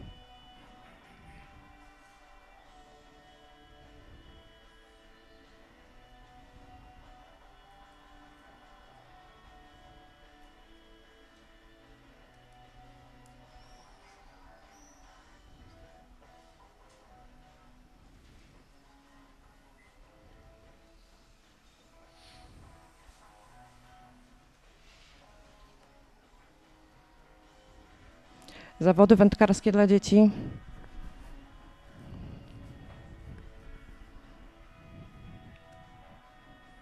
Zawody wędkarskie dla dorosłych. Tu miła współpraca z panem Rafałem Narkiewiczem. Na sportowo miła współpraca z Rafałem Gajdamowiczem, Akcja Lato w mieście. Wyjazdy nad morze. Dzieci, młodzież, dorośli, seniorzy.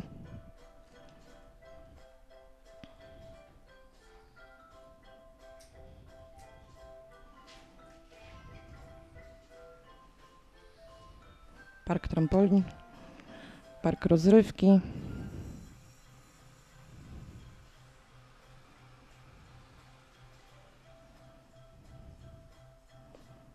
Malbork.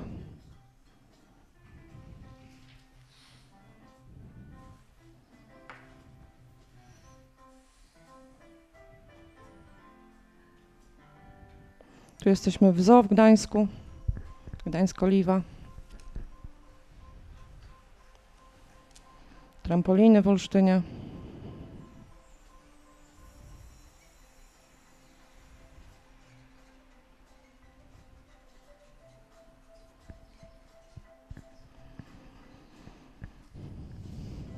Świetny plac zabaw w Lidzbargu Warmińskim oraz zwiedzanie term. Kino. Tu odbyła się pierwsza wycieczka, która została zorganizowana przez nas, e, pracowników ośrodka, dla mieszkańców. Taka dłuższa wycieczka, pięciodniowa. Byliśmy w Zakopanem, Wadowicach i w Wieliczce.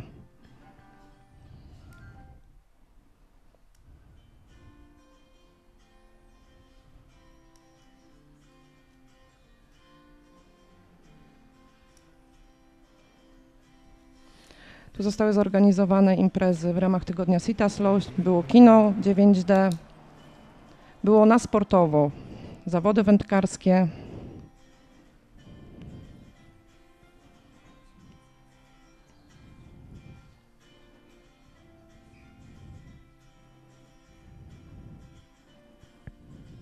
piłka nożna, piłka siatkowa.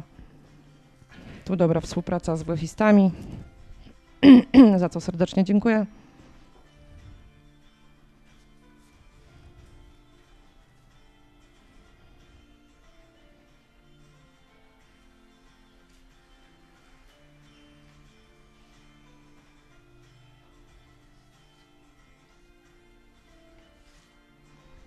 Koncert zespołu Zobaczyłem Ducha w piwnicach ratuszowych.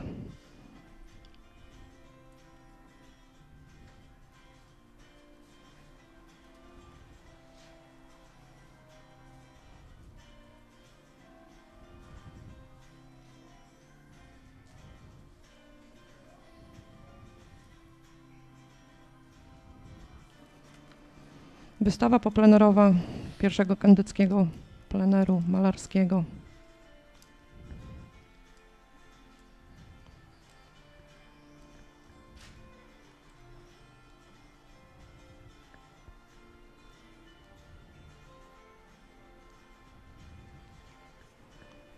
Święto Niepodległości, organizowane wspólnie ze wszystkimi instytucjami w naszym mieście.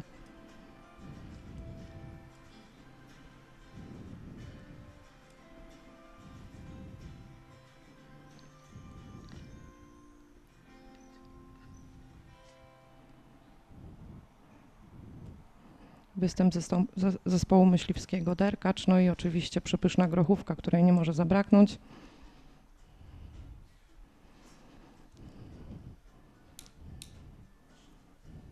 biegi niepodległościowe na stadionie miejskim.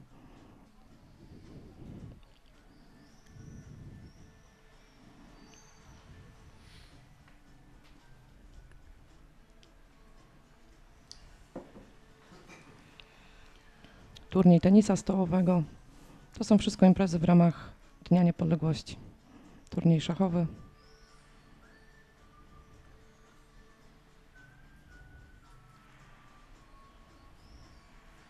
zawody strzeleckie na strzelnicy.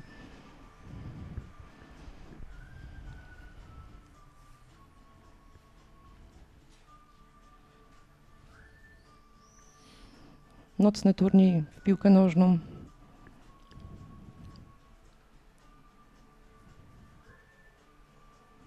Koncert Marcina Kaszubata w piwnicach ratuszowych.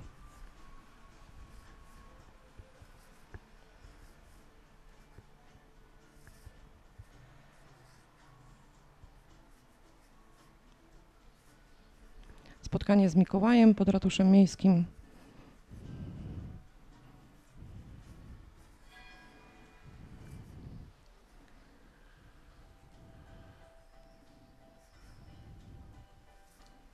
Wigilia miejska połączona z jarmarkiem bożonarodzeniowym pod ratuszem miejskim.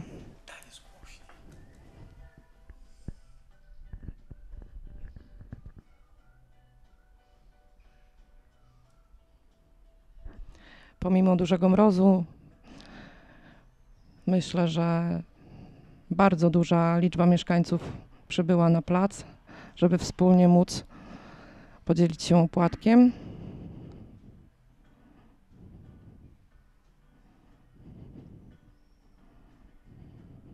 Kasiu, proszę tu przetrzymaj. To za nami i to jest tylko w małej pigułce, a przed nami już dziś Mogę poinformować, że za chwilę każdy z mieszkańców, każdy z Państwa otrzyma informator kulturalny, w którym przede wszystkim chcemy zaprosić na 30 dni Górowa, które w tym roku odbędą się 8 września, będą połączone z otwarciem nowego ośrodka kultury. Pierwszą gwiazdą inauguracyjną Dni Górowa będzie Daria Marks. Kasiu, proszę dalej.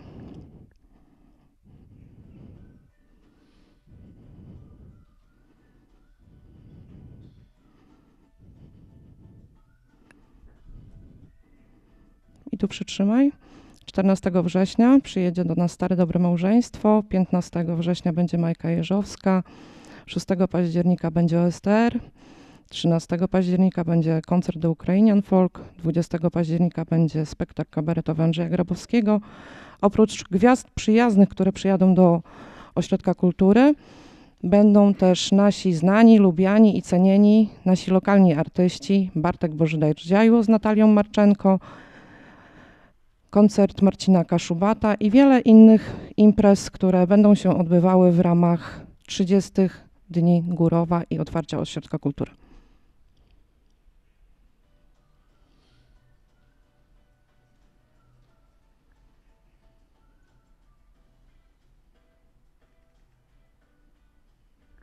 I dziękuję serdecznie za uwagę. Dziękuję pani dyrektor Domu Kultury, pani mm, Sylwii Rosochackiej za ciekawą prezentację. Tak jak widać w mieście dużo się dzieje, co było przedstawione na zamieszczonej prezentacji i zdjęciach. A w tej chwili poproszę panią kierownik Agnieszkę Gorzycką, panią kierownik Miejskiego Ośrodka, Miejskiego Ośrodka Pomocy Społecznej, również o krótką prezentację. Bardzo proszę pani kierownik. E, Witam Państwa bardzo serdecznie. Postaram się, żeby było krótko i treściwie. E, Miejski Ośrodek Pomocy Społecznej działa na podstawie ustawy o pomocy społecznej oraz statutu. E, Zatrudnionych jest 12 osób. Ośrodek podzielony jest na działy. Dział pracy socjalnej, dodatki mieszkaniowe, świadczenia rodzinne. E, Oprócz tego jeszcze współpracujemy, współtworzymy świetlicę opiekuńczo-wychowawczą, gdzie zatrudniamy tam dwie osoby. E, Tu mają Państwo zaprezentowane akty prawne, to są ustawy, na których pracujemy. Jest tego trochę, e, ale staramy się tak, żeby wszystko było w porządku, żeby mieszkańcy byli zadowoleni. E, Zajmujemy się przyznawaniem, wypłacaniem zasiłków celowych na zaspokojenie niezbędnych potrzeb bytowych, e, zasiłków okresowych. e, Udzielamy schronienia, czyli kierujemy osoby bezdomne do schroniska dla bezdomnych. Jeżeli jest taka potrzeba, sprawujemy pogrzeb dla osób samotnych, e, świadczymy usługi e, opiekuńcze. Przy naszym ośrodku działa zespół interdyscyplinarny zajmujący się rozwiązywaniem e, przemocy domowej. E, Wypłacamy zasiłki stałe z tytułu niepełnosprawności, świadczenia rodzinne, e, dodatki mieszkaniowe, dodatki energetyczne. E, Zajmujemy się tak naprawdę szerokim wachlarzem działań skierowanych do naszych mieszkańców. No, poprosimy już dalej.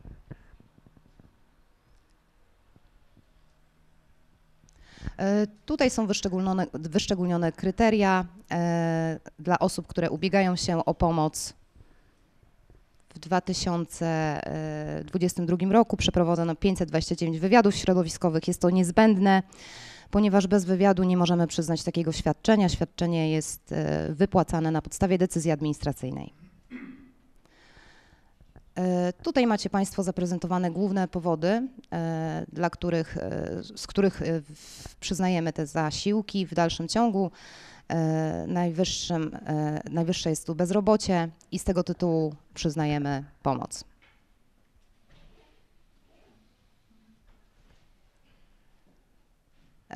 Tutaj prezentacja świadczeń, które wypłacamy, zasiłek stały. E, Są tutaj przedstawione tak powody, dla którego ten zasiłek się wypłaca. E, Zasiłek okresowy. Zasiłek okresowy e, nie jest formą pomocy uznaniową. Jest on z góry jakby narzucony przez ustawę i zależy od dochodu, który dane, dana osoba posiada. Są podane tu powody, z, jakiego też, z jakich też przyznaje się taki zasiłek.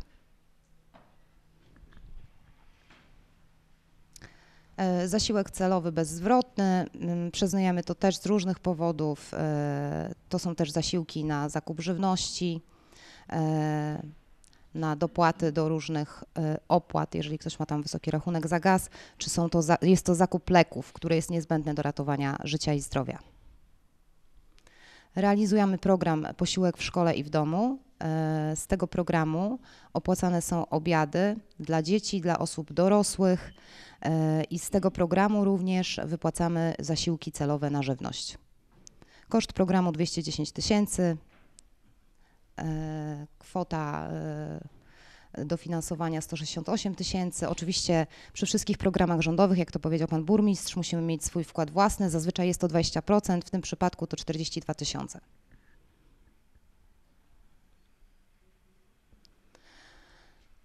Domy pomocy społecznej, osoby, które wymagają e, całodobowej, całodobowej opieki, e, kierujemy do domów pomocy społecznej. E, W 2022 roku w domach pomocy przebywało 11, 11 osób e, z naszego miasta. E, Poniżej podany jest koszt utrzymania.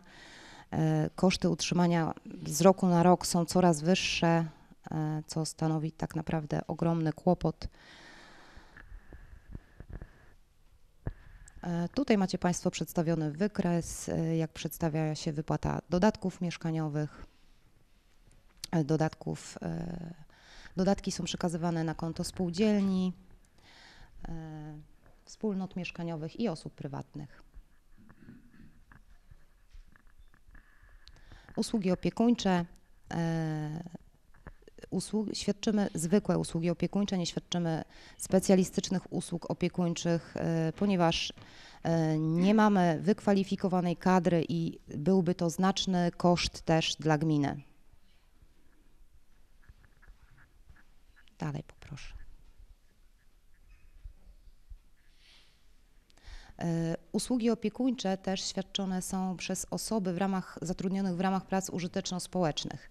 E, Jest to też e, dobry sposób e, na jakby niwelowanie kosztów, ponieważ na etacie mamy jedną opiekunkę, ale ona jakby nie zapewnia e, wszystkich e, potrzeb, które są zgłaszane przez mieszkańców, więc zatrudniamy też osoby tu przy współpracy z Urzędem Miasta e, w ramach prac społeczno-użytecznych.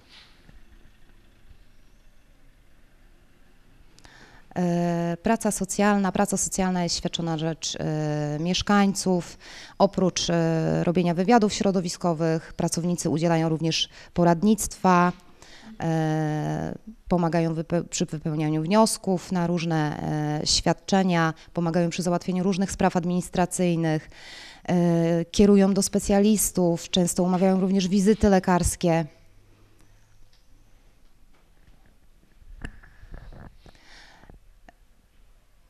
Współpracujemy również z Bankiem Żywności.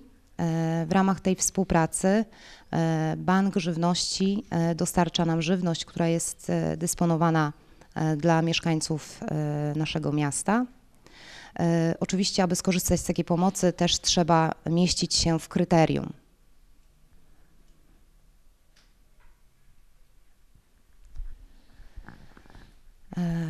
Może dalej.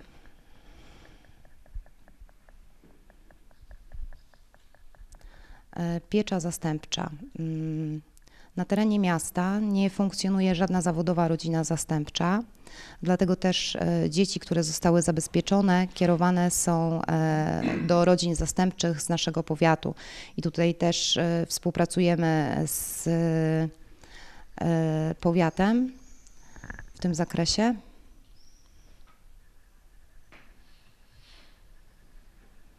Opłacamy również składki na ubezpieczenie zdrowotne e, dla osób, które pobierają zasiłki stałe e, oraz które znalazły się w trudnej sytuacji życiowej, nie mają ubezpieczenia, a wymagają pomocy lekarskiej. W ośrodku zatrudniony jest również asystent rodziny, który współpracuje z rodzinami mm, posiadającymi trudności opiekuńczo-wychowawcze. Pomaga tym rodzinom w przezwyciężeniu trudnych e, przeciwności losu.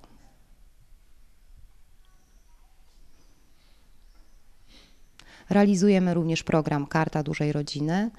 E, Teraz, kiedy e, pojawił się program dopłaty do prądu, e, to tak wzrosła liczba osób, które przychodzą do nas, składają wnioski na otrzymanie takiej karty dużej rodziny, ponieważ dzięki tej karcie można starać się o zniżkę. E, Tak jak już mówiłam, e, przy Miejskim Ośrodku e, działa zespół interdyscyplinarny. Prowadzimy różne sprawy postępowania w sprawach związanych z przemocą domową. W tym zakresie współpracujemy również z policją, z komisją alkoholową, szkołami, przychodnią zdrowia.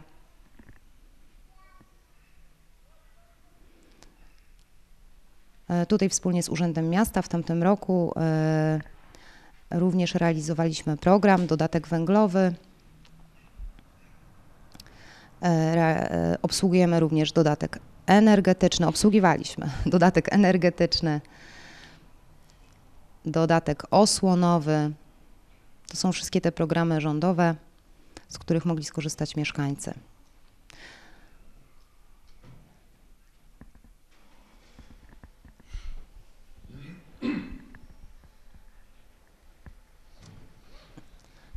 Tutaj jest akurat na prezentacji e, dział świadczeń rodzinnych. E, Przedstawiono tutaj liczbę i kwotę wypłaconych świadczeń, zasiłku rodzinnego, pielęgnacyjnego, e, świadczeń pieniężnych, specjalnego zasiłka, zasiłku opiekuńczego.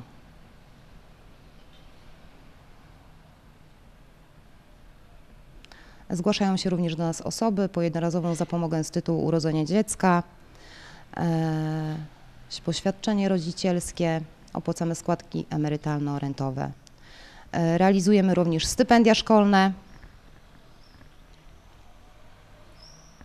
Tu macie Państwo informacje, jak, ile było wypłaconych i w jakiej kwocie. E, Realizujemy również program e, Wspieraj Seniora. Nasi pracownicy e, dla osób, które e, zgłaszały się na taką specjalną infolinię, robili zakupy, kupowali leki, e, również umawiali wizyty lekarskie.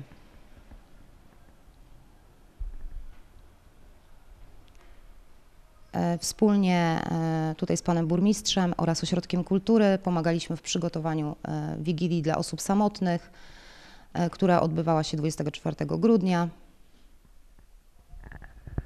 E, Tu wspólnie również e, i również dzięki Państwa tutaj przychylności e, organizowaliśmy paczkę dla seniora. Współpracujemy również z Bankiem Żywności przy dystrybucji żywności. Od 2022 roku realizujemy również z Bankiem Żywności projekt Aktywne Organizacje Silna Społeczność. Jest to projekt międzypokoleniowy, w którym biorą udział i seniorzy, i dzieci, i mieszkańcy naszego miasta.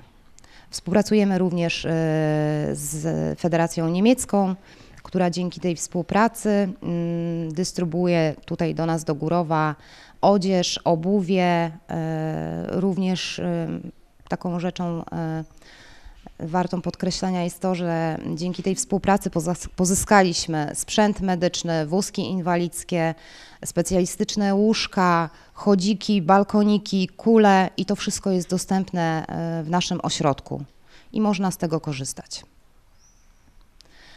E, Współpracujemy również z PCPR-em, sądami, kuratorami, policją, e, prokuraturą, szkołami, Miejską Komisją Rozwiązywania Problemów Alkoholowych, Ośrodkiem Kultury i wszystkimi innymi instytucjami, których wymaga sytuacja. E, Tak jak już wspomniałam również, e, prowadzimy wspólnie z Caritasem świetlicę opiekuńczo-wychowawczą. E, I w 2022 roku udało się pozyskać również środki na otwarcie klubu Senior Plus. Tu jest krótka taka relacja działalności, z otwarcia.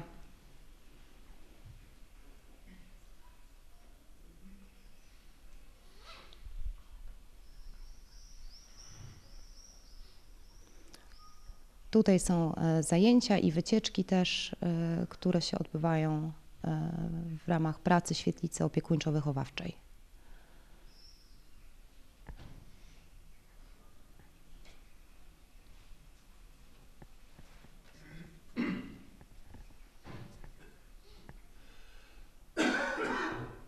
I dziękuję bardzo za uwagę. Dziękuję bardzo pani kierownik mm, MOPS-u, pani Agnieszce, Agnieszce Gorzyckiej za ciekawą prezentację.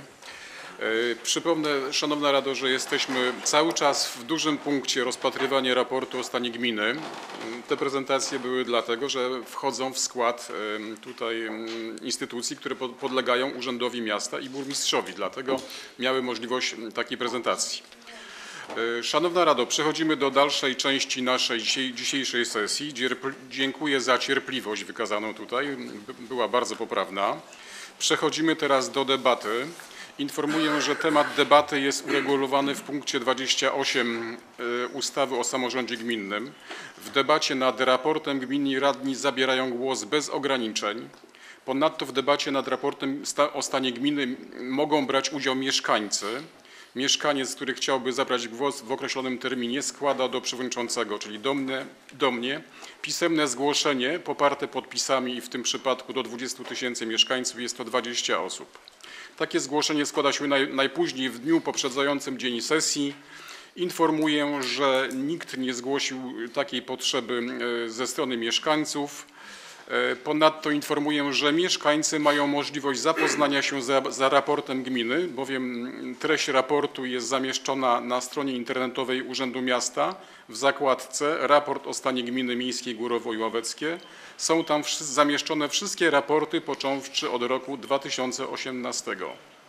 Zachęcam mieszkańców do zapoznania się z tymi raportami, a szczególnie z tym ostatnim raportem. Tak, tak więc, Wysoka Rado, otwieram debatę na temat e, raportu o stanie gminy. Bardzo proszę.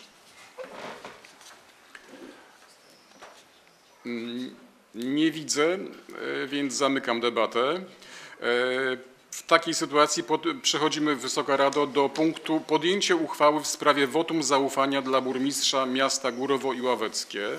Przypomnę tylko, że wotum zaufania jest jednym z narzędzi nadzoru i kontroli, kontroli, które Rada Gminy może wykorzystywać w przypadku, gdy istnieje pewne niezadowolenie z działalności burmistrza. Ma ono na celu zapewnienie interesów gminy i zapewnienie, że burmistrz wykonuje swoje obowiązki w sposób odpowiedzialny i zgodny z oczekiwaniami społeczności lokalnej. Wotum zaufania to procedura, która pozwala Radzie Gminy wyrazić swoje zaufanie wobec burmistrza miasta. Wotum zaufania jest to pozytywne głosowanie radnych, które potwierdza, że burmistrz miasta cieszy się w dalszym ciągu poparciem i zaufaniem ze strony Rad, em, Rady Miasta. E, Informuję, że e, na podstawie przepisów o- o samorządzie gminnym po zakończeniu debaty nad raportem gminy, debata się odbyła, nie było mm, chętnych do zabrania głosów, przeprowadza się głosowanie nad udzieleniem burmistrzowi wotum zaufania. Uchwałę o udzieleniu burmistrzowi wotum zaufania Rada Gminy podejmuje bezwzględną większością głosów ustawowego składu Rady Gminy. Oznacza to, że projekt uchwały przechodzi, gdy uzyska co najmniej liczbę całkowitą przewyższającą połowę ustawowego składu Rady ważn- ważnych oddanych głosów. Odczytam teraz em, Wysokiej Radzie projekt uchwały o udzieleniu wotum zaufania. Uchwała nr 30 367 przez 2023 Rady Miasta Górowo i Ławeckie z dnia 15 czerwca 2023 roku w sprawie wotum zaufania dla burmistrza miasta za rok 2022.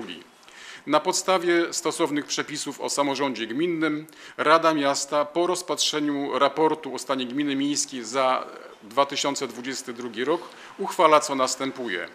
Paragraf pierwszy. Udziela się burmistrzowi miasta Górowo i Ławeckie wotum zaufania za rok 2022. Paragraf 2. Uchwała wchodzi w życie z dniem podjęcia uchwały. Poddaję projekt uchwały pod głosowanie. Kto z pań i panów radnych jest za przyjęciem tej uchwały, zechce zagłosować.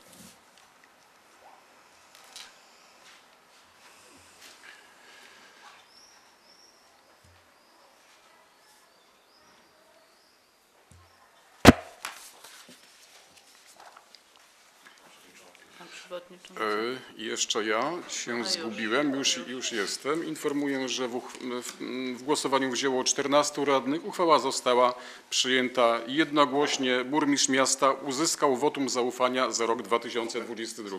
Bardzo proszę. Ja chcę bardzo podziękować radnym za zaufanie. Mam nadzieję, że kolejne nasze prace również spotkają się z Waszym zrozumieniem E, i mam nadzieję, że ta rozległa prezentacja działalności naszej gminy w zeszłym roku nie była za długa. E, Poprawimy się. Będzie, będzie, będzie limit czasowy dla dyrektorów, ale bardzo dziękuję za zaufanie. E, Dziękuję bardzo. Przechodzimy do dalszej realizacji naszej dzisiejszej sesji. Kolejny punkt, mały, czwarty w tym dużym punkcie rozpatrzenia raportu stanie gminy jest przedstawienie sprawozdania z wykonania budżetu Rady Miasta za rok 2022. I tutaj poprosimy panią skarbnik już również o bardzo syntetyczne przedstawienie sprawozdania z wykonania budżetu. E, Witam wszystkich bardzo serdecznie. Ja się postaram tak w wielkim skrócie jak najbardziej. E, Rok 2022 zamknęliśmy deficytem wysokości 1 352 319 zł i 20 groszy. Wykupiliśmy obligacje serii A1 w wysokości 200 tysięcy. Wobec tego zobowiązania finansowe na koniec 2022 roku długoterminowe wynoszą 8 159 tysięcy. Pozostałe zobowiązania to 945 257 zł 75 groszy. Dochody, jakie wykonaliśmy w 2022 roku wyniosły 29 milionów 410 877 zł i 34 grosze, z czego dochody bieżące to 26 milionów 409 590 zł i 12 groszy, a majątkowe to 3 miliony 1000 zł 287 1000, o, pokręciło mi się, i 22 grosze. W każdym razie plan wykonaliśmy e, w 82%. Jeśli chodzi o wydatki, e, to wyniosły one 30 milionów 763 196 zł i 54 grosze, co stanowi 84% planu. E, Wydatki bieżące wyniosły 24 miliony 733 303 zł 92 grosze, natomiast majątkowe 6 milionów 29 892 zł i 62 grosze. E, Ja tylko chciałam serdecznie podziękować Państwu za współpracę. Było dużo różnych dziwnych sytuacji w trakcie 2022 roku i zdarzeń, które pociągnęły za sobą zmiany w przepisach i finansowaniach, co było dla nas też dość utrudnieniem sporym. Otrzymywaliśmy różne środki i z Funduszu Pomocy Uchodźców, i środki z Funduszu Przeciwdziałania COVID-19 na wypłatę dodatków węglowych i różnych innych dodatków, które miały pomóc naszemu, naszym mieszkańcom. Również środki z Rządowego Funduszu Polski Ład w ramach programu inwestycji strategicznych na realizację inwestycji.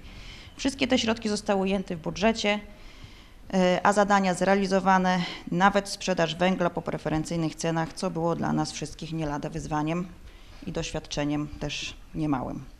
E, Część z tych zadań oczywiście nadal realizujemy, takie jak na przykład pomoc uchodźcom, to ciągle trwa. Dziękuję. Dziękuję bardzo. W dalszym ciągu poprosimy panią skarbnik dal- o przedstawienie informacji mm, z, e, odnośnie sprawozdania finansowego za 2022, bo, bo wcześniej było wykonanie budżetu miasta, a w tej chwili sprawozdanie finansowe to Sprawozdanie są zawiłości finansowe. Bardzo e, proszę. To tak w skrócie też również tu przedstawiłam. Sprawozdania finansowe przedstawiając obraz e, jakby finansowy całej naszej e, gminy. No i z tego właśnie całego przedstawionego obrazu, czyli bilansy, rachunek e, zysków i strat i wyniku finansowego i e, funduszu, e, zestawienia funduszu jednostki, no to właśnie to, że zamknęliśmy ten rok deficytem w wysokości 1 352 319 zł i 20 groszy, a nasze zobowiązania długoterminowe to te 8 milionów 159 tysięcy. I to właściwie cały obraz naszego Dziękuję bardzo. Dalszym punktem dzisiejszej sesji jest przedstawienie informacji o stanie mienia komunalnego Gminy Miejskiej Góry Wojoweckie. I tu poproszę naszego specjalistę, pana Edwarda Drymucha, o krótką przedstawienie tej informacji odnośnie stanu mienia komunalnego. E, Taką informację o stanie mienia komunalnego Państwo otrzymują każdego roku. I z niej wynika, prawda, co jeszcze miasto posiada. Nie ukrywam, że jestem zwolennikiem prywatyzacji, dlatego się zmniejsza ta liczba, ilość hektarów i tak dalej. E, Tak przedstawię tylko, żeby uzmysłowić. E, Mamy ogólnie miasto posiada powierzchnię 332 hektary, czyli 3,32 km kwadratowego. Z tego e, miasto, bardzo ogólnie przedstawię oczywiście, bo wszystko można przeczytać, z tego mienie komunalne to jest 166 hektarów. W tym się znajdują oczywiście zabudowa, dro- drogi, inne rzeczy. Myślę, że szczegółowo, chyba, że Państwo chcecie szczegółową taką informację, mogę oczywiście przedstawić. E, Jak wiadomo, struktura jest różna w każdym mieście. Skarb Państwa posiada jeszcze u nas 49 hektarów. W tym posiada również e, grunty rolne, to jest e, z tego co kojarzę 24 hektary i większość to są drogi. E, Drogi, które tam, lasy, wody, no drogi to już niewiele, bo tam zostały naprawdę malutkie powierzchnie, już można powiedzieć. Natomiast osoby fizyczne na dzień, powiedzmy 31 grudnia 2022 e, posiadają 86 hektarów, w tym 44 rolne i pod zabudową mieszkaniową 42, czyli prawie, że e, to tak mniej więcej nie jest to wyszczególnione do e, metra kwadratowego. To nie ma tego w informacji, więc dlatego o tym też mówię. Powiat ma 2 hektary jeszcze zabudowanych nieruchomości i województwo, proszę Państwa, ma u nas 14 hektarów. E, W tym 9 hektarów to są drogi. Dlatego 9 hektarów, bo na koniec roku jeszcze ta droga, tak zwane to starodroże, czyli dawna droga wojewódzka, ulica Lipowa, e, Wojska Polskiego Wyszyńskiego, które były wojewódzkimi, prawda, jeszcze na koniec roku nie przeszły na nasz stan. A tutaj wiadomo, że z mocy ustawy musimy ich przejąć i praktycznie one są przejęte. My już się zajmujemy nimi, e, czyli utrzymujemy porządek. E, Czyli i 5 hektarów zabudowanych, to są szczególnie szkoła, prawda, z ukraińskim językiem nauczania. E, To jeśli chodzi o grunty i zabudowę. My natomiast no, mamy jeszcze tam pod, e, pod wodami 7 hektarów, mamy e, 8 hektarów pod drogami, E, to mówię na koniec roku. E, Tutaj kolejowych nie mamy żadnych, bo nadal PKP po prostu wszystko trzyma, chociaż kiedyś tam był czas, kiedy chcieliśmy przejąć to. Mieszkaniowych mamy 11 hektarów, przemysłowych 10, 12 zabudowanych innych. Łącznie daje to 166 hektarów. Jeszcze jest czym gospodarować, że tak powiem. E, Dochody z mienia komunalnego to są e, większej, największej może części to jest czynsz dzierżawny z najmu lokali, rolny i pod zabudową różną, garażową i tak dalej. E, Sprzedaż nieruchomości to jest chyba druga pozycja, nie, to jest pierwsza pozycja, czyli największa e, z dochodów. E, Są jeszcze tam takie coś jak zajęcie pasa drogowego, to są wcale nie małe pieniążki już, prawda, bo ponad 60 w zaokrągleniu, mówię, 60 tysięcy złotych w tej chwili to może jest i 70, bo tam trochę doszło. No i przekształcenia to są już malutkie pieniążki. Łącznie zaplanowane dochody na rok 23 to 1 049 tysięcy. Mogę skracać, jak Państwo chcą. E, No, w to wchodzi oczywiście sprzedaż e, zajmowanych lokali budynków, e, sprzedaż wolnych lokali budynków. Zresztą o tym wszystkim Państwo wiecie, bo podejmujecie każdorazowo uchwałę, jeśli chodzi o wolne lokale, wolne działki pod zabudowę, wolne garaże.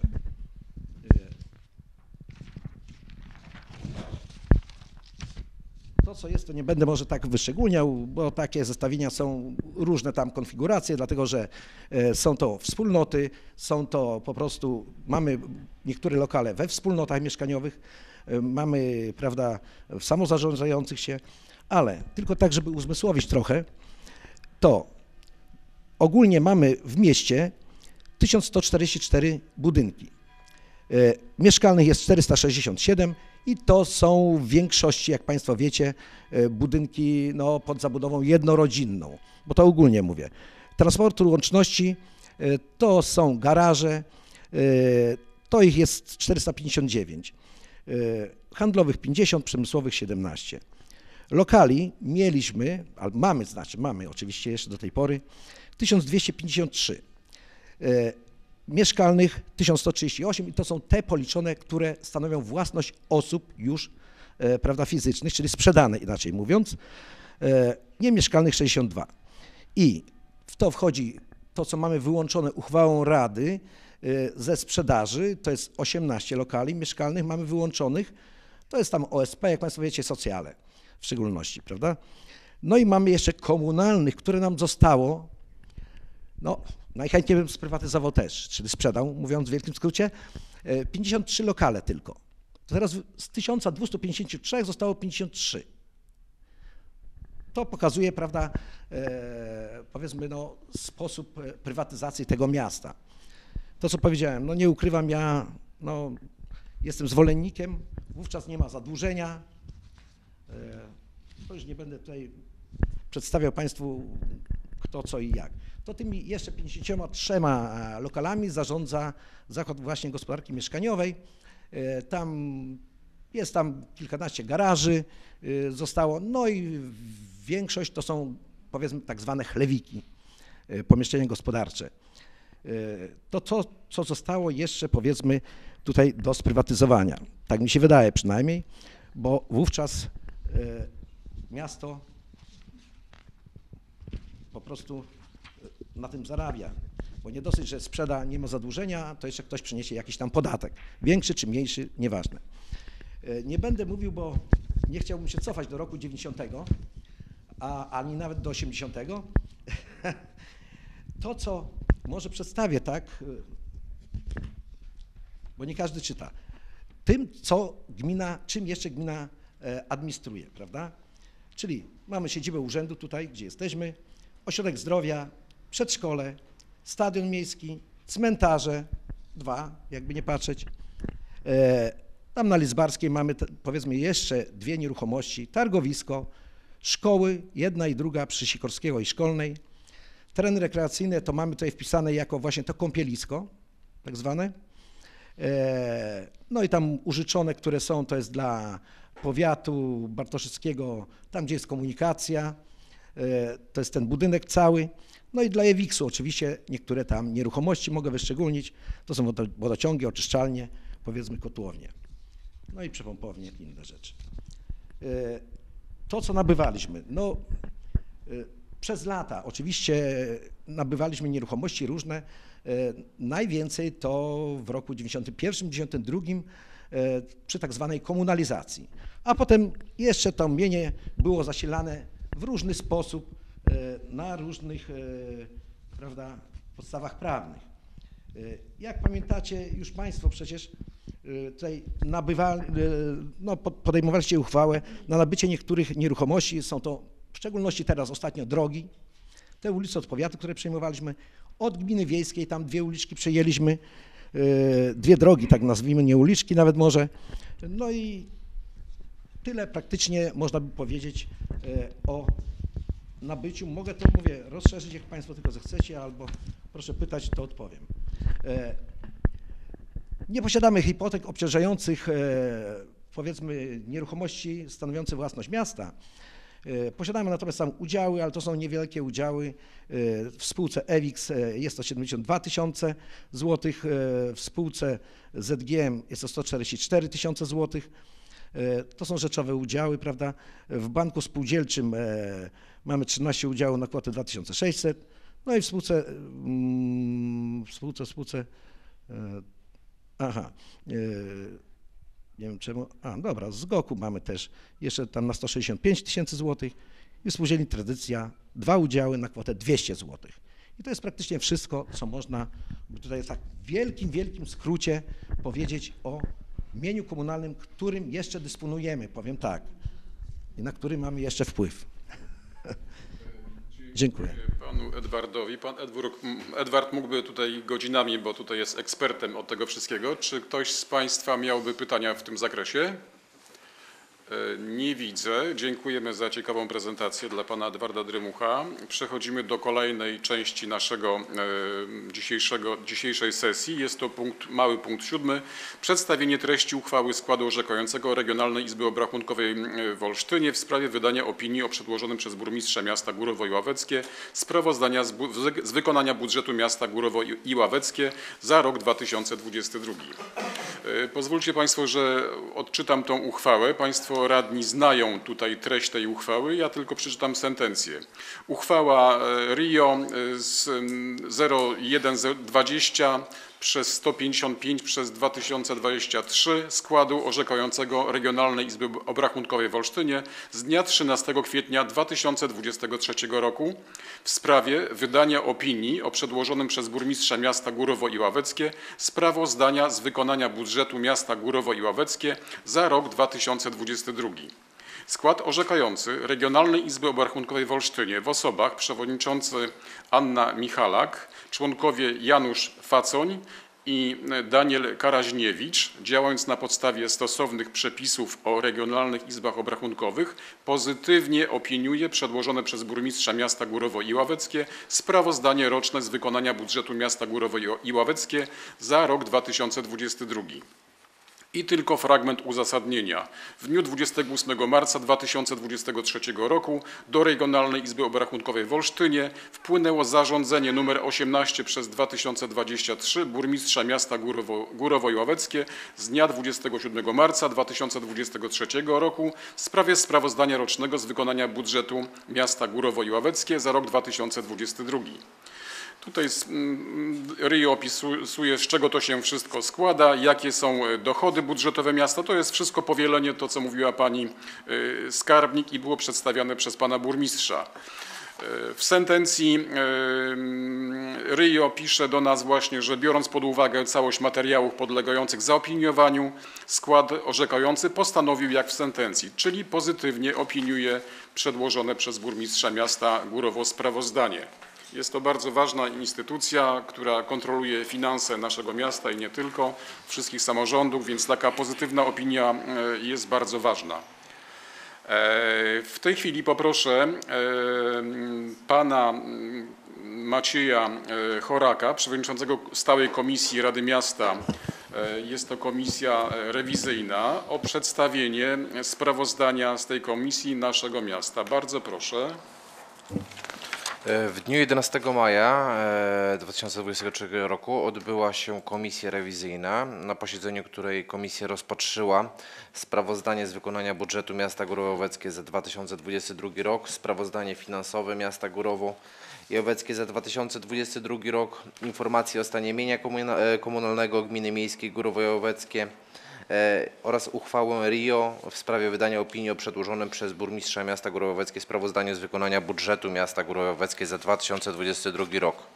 E, Po rozpatrzeniu e, przedstawionych sprawozdań e, i opinii RIO e, komisja e, wydała pozytywną opinię o realizacji budżetu miasta za rok 2022, a co za tym idzie e, występuje do Rady Miasta Górowo-Oweckie z wnioskiem o udzielenie absolutorium burmistrza miasta Górowo-Oweckie. Chciałbym tylko tu jeszcze zaznaczyć, że w roku sprawozdawczym, czyli 2022 roku, gmina nasza miejska nie zaciągnęła kredytu. Dziękuję. Dziękuję bardzo. Była to informacja naszej komisji rewizyjnej, która e, udzieliła absolutorium burmistrzowi miasta i ten wniosek trafił do, do RIO, do Olsztyna. I ja w tej chwili przed, przeczytam Państwu e, przedstawienie treści uchwały składu orzekającego i Regionalnej Izby Obrachunkowej w sprawie zaopiniowania wniosku komisji rewizyjnej Rady Miasta Górowo i Ławeckie w sprawie udzielenia absolutorium burmistrzowi miasta Górowo i Ławeckie za rok 2022. Uchwała RIO e, mm, rzymskie 8 0120 2000, łamane przez 228 przez 2023 składu orzekającego Regio- Regionalnej Izby Obrachunkowej w Olsztynie z dnia 15 maja 2023 roku. Po, mm, w sprawie zaopiniowania wniosku Komisji Rewizyjnej Miasta Górowo i Ławeckie w sprawie udzielenia absolutorium burmistrzowi miasta Górowo i Ławeckie za rok 2022. Skład orzekający Regionalnej Izby Obrachunkowej w Olsztynie w osobach przewodniczący Krzysztof Mościbrocki, członkowie Anna Michalak i Krystyna Radecka-Romaniuk, działając na podstawie stosownych przepisów o regionalnych izbach obrachunkowych, postanowiła pozytywnie zaopiniować wniosek Komisji Rewizyjnej Miasta Górowo i Ławeckie w sprawie udzielenia absolutorium burmistrzowi miasta Górowo i Ławeckie za rok 2022.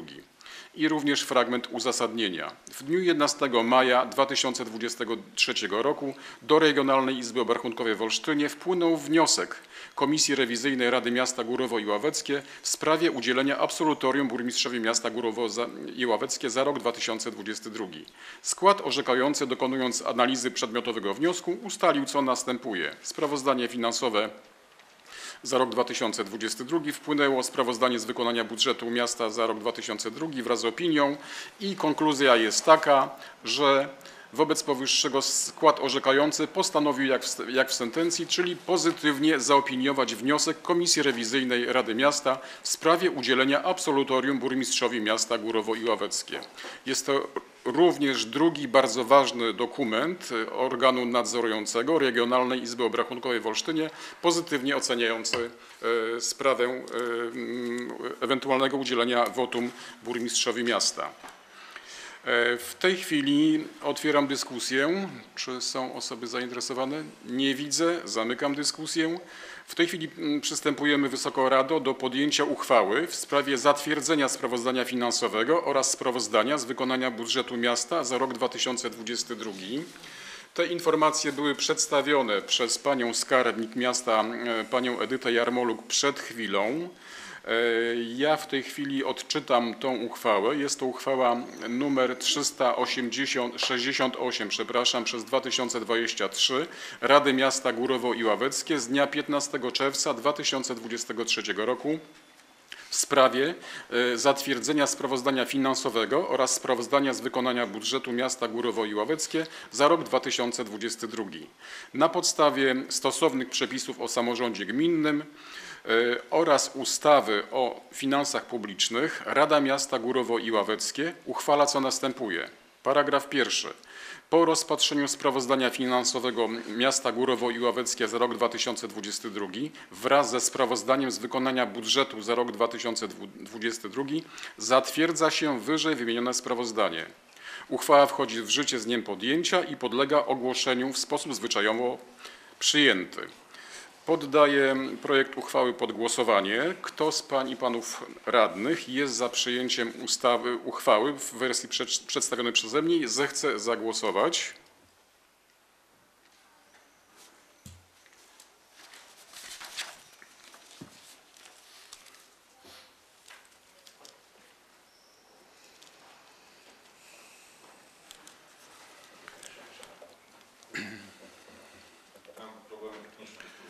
Dziękuję. Pan radny Bachonowicz głosuje imiennie, jest za. Informuję, że uchwała została podjęta jednogłośnie. Dziękuję. Bardzo proszę. Pozostaje mi jeszcze raz podziękować Państwu radnym za zaufanie i za docenienie pracy. No tym razem to jest takie absolutorium, to jest też i wyraz zaufania dla kadry urzędu, no bo to tak naprawdę ona pracuje, a burmistrz tylko podpisuje. Dziękuję. I w tej chwili, Wysoka Rado, dochodzimy już do zwieńczenia mm, całej procedury rozpatrywania wniosku o sprawozdaniu w- o stanie gminy i zwieńczeniem procedury rozpatrzenia e, wniosku o stanie gminy jest podjęcie przez Radę Gminy uchwały w sprawie udzielenia lub nieudzielenia burmistrzowi wotum zaufania. E, Uchwałę o mm, udzieleniu burmistrzowi wotum zaufania gmina podejmuje bezwzględną większością głosów ustawowego składu Rady Gminy. Absolutorium, oczywiście. A ja czytałem? E, Przepraszam bardzo. E, To już tak. Jeszcze raz. E, Uchwałę o udzieleniu burmistrzowi absolutorium oczywiście Rada Gminy podejmuje bezwzględną większością głosów ustawowego składu e, Rady Gminy. Oznacza to, że projekt uchwały przechodzi, gdy uzyska co najmniej liczbę całkowitą przewyższającą połowę ustawowego składu Rady ważnie oddanych głosów. E, Przeczytam w tej chwili e, projekt e, tej uchwały. Uchwała nr 369 przez 2023 Rady Miasta Górowo i Ławeckie z dnia 15 czerwca 2023 roku w sprawie udzielenia absolutorium burmistrzowi miasta Górowo i Ławeckie za rok 2022. Na podstawie stosownych przepisów o samorządzie gminnym oraz ustawy o finansach publicznych Rada Miasta Górowo i- Ławeckie uchwala co następuje. Paragraf pierwszy. Rada Miasta Górowo i Ławeckie po zapoznaniu się ze sprawozdaniem z wykonania budżetu Rady Miasta Górowo i Ławeckie za rok 2022, sprawozdaniem finansowym Miasta Górowo i Ławeckie za rok 2022, informacją o stanie mienia Gminy Miejskiej Górowo i Ławeckie za rok 2022, opinią Regionalnej Izby Obrachunko- Obrachunkowej w Olsztynie o sprawozdaniu z wykonania budżetu miasta Górowo i Ławeckie za rok 2022, wnioskiem Komisji Rewizyjnej Rady Miasta Górowo i Ławeckie w sprawie udzielenia absolutorium burmistrzowi miasta Górowo i Ławeckie za rok 2022, w głosowaniu jawnym udziela się burmistrzowi miasta Górowo i Ławeckie absolutorium z tytułu, z tytułu wykonania budżetu za rok 2022. Uchwała wchodzi w życie z dniem podjęcia i podlega ogłoszeniu w sposób zwyczajowo przyjęty. E, Poddaję projekt uchwały pod głosowanie. Kto z Pań i Panów Radnych jest za podjęciem uchwały przed chwilą przeze mnie mm, odczytanej, zechce zagłosować.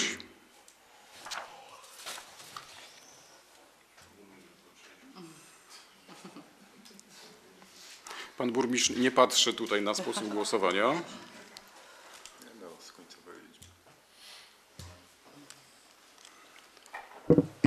Mam tutaj problemy techniczne, jestem za. Dziękuję. Pan radny Komorowski.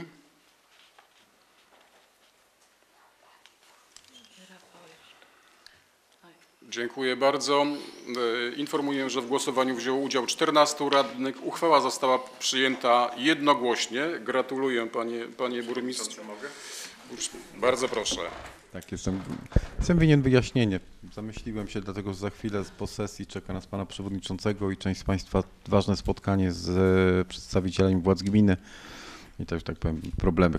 Kolejne problemy zajęły moją uwagę, ale teraz chcę podziękować we właściwym miejscu za zaufanie, za zaufanie dla, dla mojej skromnej osoby, ale przede wszystkim dla urzędników, dla pracowników naszego urzędu i jednostek nam podlegającym. Bardzo serdecznie dziękuję. Proszę o nagrodzenie brawami. Panie burmistrzu, mamy również tu małą niespodziankę. Bardzo proszę pani, pani Grażyno.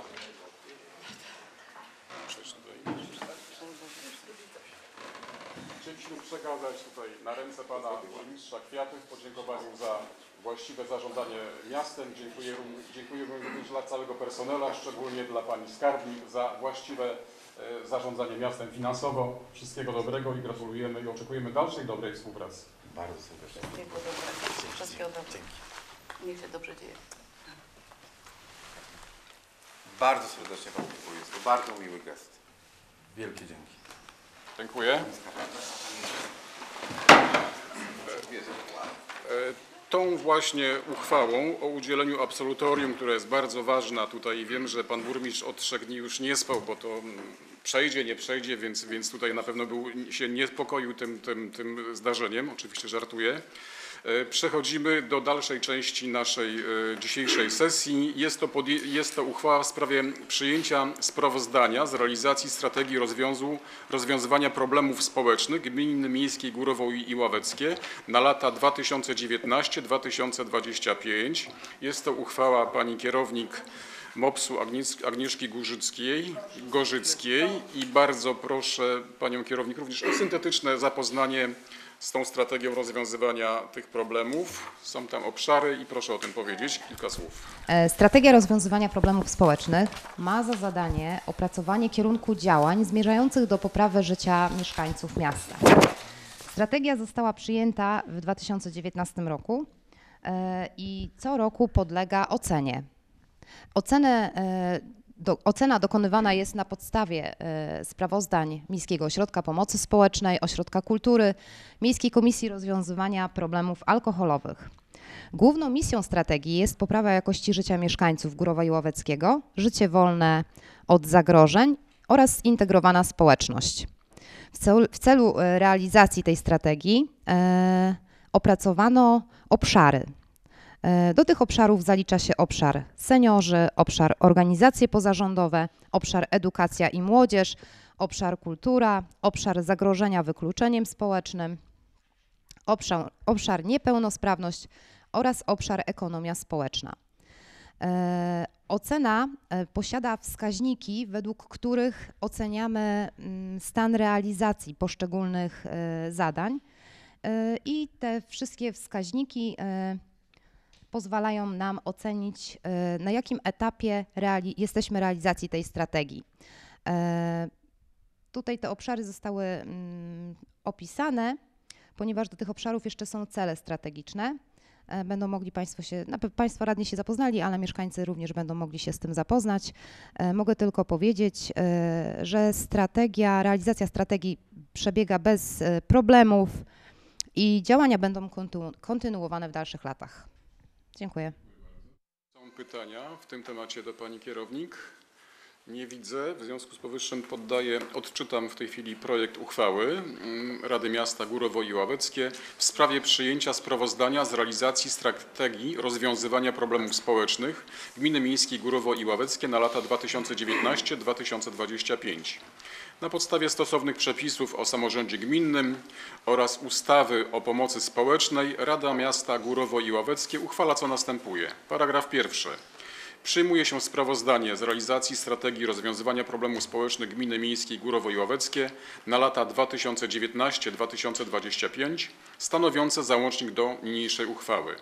Wykonanie zarządzenia powierza się burmistrzowi miasta Górowo i Ławeckie. Uchwała w życie wchodzi z dniem podjęcia. W tej chwili poddaję ten projekt pod głosowanie. Kto z pań i panów radnych jest za przyjęciem tej uchwały, zechce zagłosować. Jestem za. Pan radny Komorowski, przyjąłem. Dziękuję.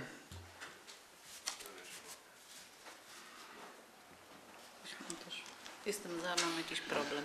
Pani Grażyna Sawicz też już bateria chyba nie wytrzymała, bo jesteśmy ponad 3 godziny. Przyjmuję zgłoszenie. I co oznacza, że w głosowaniu wzięło udział 14 radnych, a to oznacza, że uchwała weszła e, jednogłośnie. Dziękuję i gratuluję Pani Kierownik. I w ten sposób, Wysoka Rado, mm, po trzech godzinach mm, dobijamy pomału do końca. Zostały sprawy różne. Jeżeli takie są, to bardzo proszę. E, Tak, mm, radny Szlajer się zgłasza. Bardzo proszę. Ja mam taką prośbę w imieniu mieszkańców y, Górowa. Chodzi o odcinek ulicy Olsztyńskiej. Fajnie, że mamy ten CPN, powiedzmy stację paliw. Życie kwitnie tam i tętni nocą, także w dni wolne. Mieszkańcy proszą, żeby tam zrobić chodnik chociaż do y, wodociągów. Dlaczego? Dzieci udają się na zapiekanki, na hot, do, do, na hot dogi. Rano bardzo dobry ruch. Wiadomo jak to rano, każdy się śpieszy do pracy i tak dalej. Mało tego, to jest chyba jedyna ulica w mieście, gdzie nie ma chodnika tak naprawdę. No jest naprawdę, stwarza tam duże niebezpieczeństwo. Bardzo bym prosił pana burmistrza, jakby kiedyś nie mógł spać, pomyślał o tym. Co, co prawda nie jadam zapiekanek, dieta mi nie pozwala. Natomiast y, my rozmawialiśmy o tym, bo jest u nas wniosek pani dyrektor szpitala też o wykonanie chodnika. Rozmawialiśmy o tym, że trzeba zrobić też y, w ogóle całą długość tego chodnika. I to jest tylko pytanie, mm, bo myśmy wyceniali wartość robót na ile? Olsztyńsk. No. Na około 2 milionów całości. Pytanie, czy można zrobić jakiś odcinek krótszy. E, Powiem tak, nie, nie chcę obiecać, że zrobimy to na już, bo, ale po będziemy myśleli, zobaczymy jak tam finanse, zobaczymy jak finanse się będą spinały. Tak bardzo, Mają bardzo się spinać. prosił, Przy- to przyjęte jest, to, ale Uważam, absolut- że to jest bardzo tak. słuszne spostrzeżenie, no bo to jest jedyna naprawdę ulica w mieście, która nie ma tego chodnika, a naprawdę tam jest, y, dzięki temu, że jest stacja paliw, tam ruch się ożywił. Zdecydowanie, bo tam nie tylko Przyjęte do wiadomości. Można w nocy iść sobie kupić coś jeszcze, powiedzmy i tak dalej, nie? Tak, uchwała, tu, znaczy propozycja pana radnego Dziękuję. jest jak najbardziej tutaj celna i trafna. To tylko świadczy, że inwestycja y, stacji paliw moja była tutaj no, właściwą chyba. Tak, tym bardziej, że to była działka Jasne. sprzedana za... Wszyscy. Radna Antochów się zgłasza. Pani Ewa, bardzo proszę. Ja jeszcze dwa słowa przyłączę się do kolegi Zbyszka. Stacja stacją, ale mamy taki fajny kawałek tego szpitala, ten nowy oddział i naprawdę będzie super wyglądało, jak zrobimy kawałeczek tego chodnika. Także pomyślimy i przychylimy się, żeby tam ten chodnik powstał. Dziękuję Mówimy o bardzo. około 200 metrów, no to, to, to nie jest, to, to nie jest aż tak chyba. Pan Edward coś tutaj ma swoje tutaj tak, ale to będziemy, będziemy, będziemy naciskali pewnie tutaj jeszcze. Może to zrobić y, w dwóch transzach. To nie chodzi o to, żeby wyłożyć 2 miliony, zrobić za jednym pociągnięciem cały chodnik, ale chociaż te 100 metrów zrobić chodnika koło szpitala do wodociągów. To już by był Systemem jakiś gospodarczym gdzieś tutaj, no zobaczymy, zobaczymy. No, to, to, to, to Dziękuję. Jasne, jasne, tak, tak, tak. Czy ktoś z Państwa jeszcze miałby w tematy? E, Nie widzę. Zamykam dyskusję w temacie sprawy różne. W związku z powyższym, Wysoka Rado, że przeszliśmy, przebrnęliśmy przez wszystkie zawiłości dzisiejszej sesji, sesji bardzo ważnej, dzięki której Pan Burmistrz otrzymał wotum zaufania i e, dowiedzieliśmy się masę ciekawych rzeczy w prezentacjach od poszczególnych e, kierowników. Zamykam 55. sesję zwyczajną Rady Miasta. Dziękuję Państwu bardzo za uwagę. Dziękuję.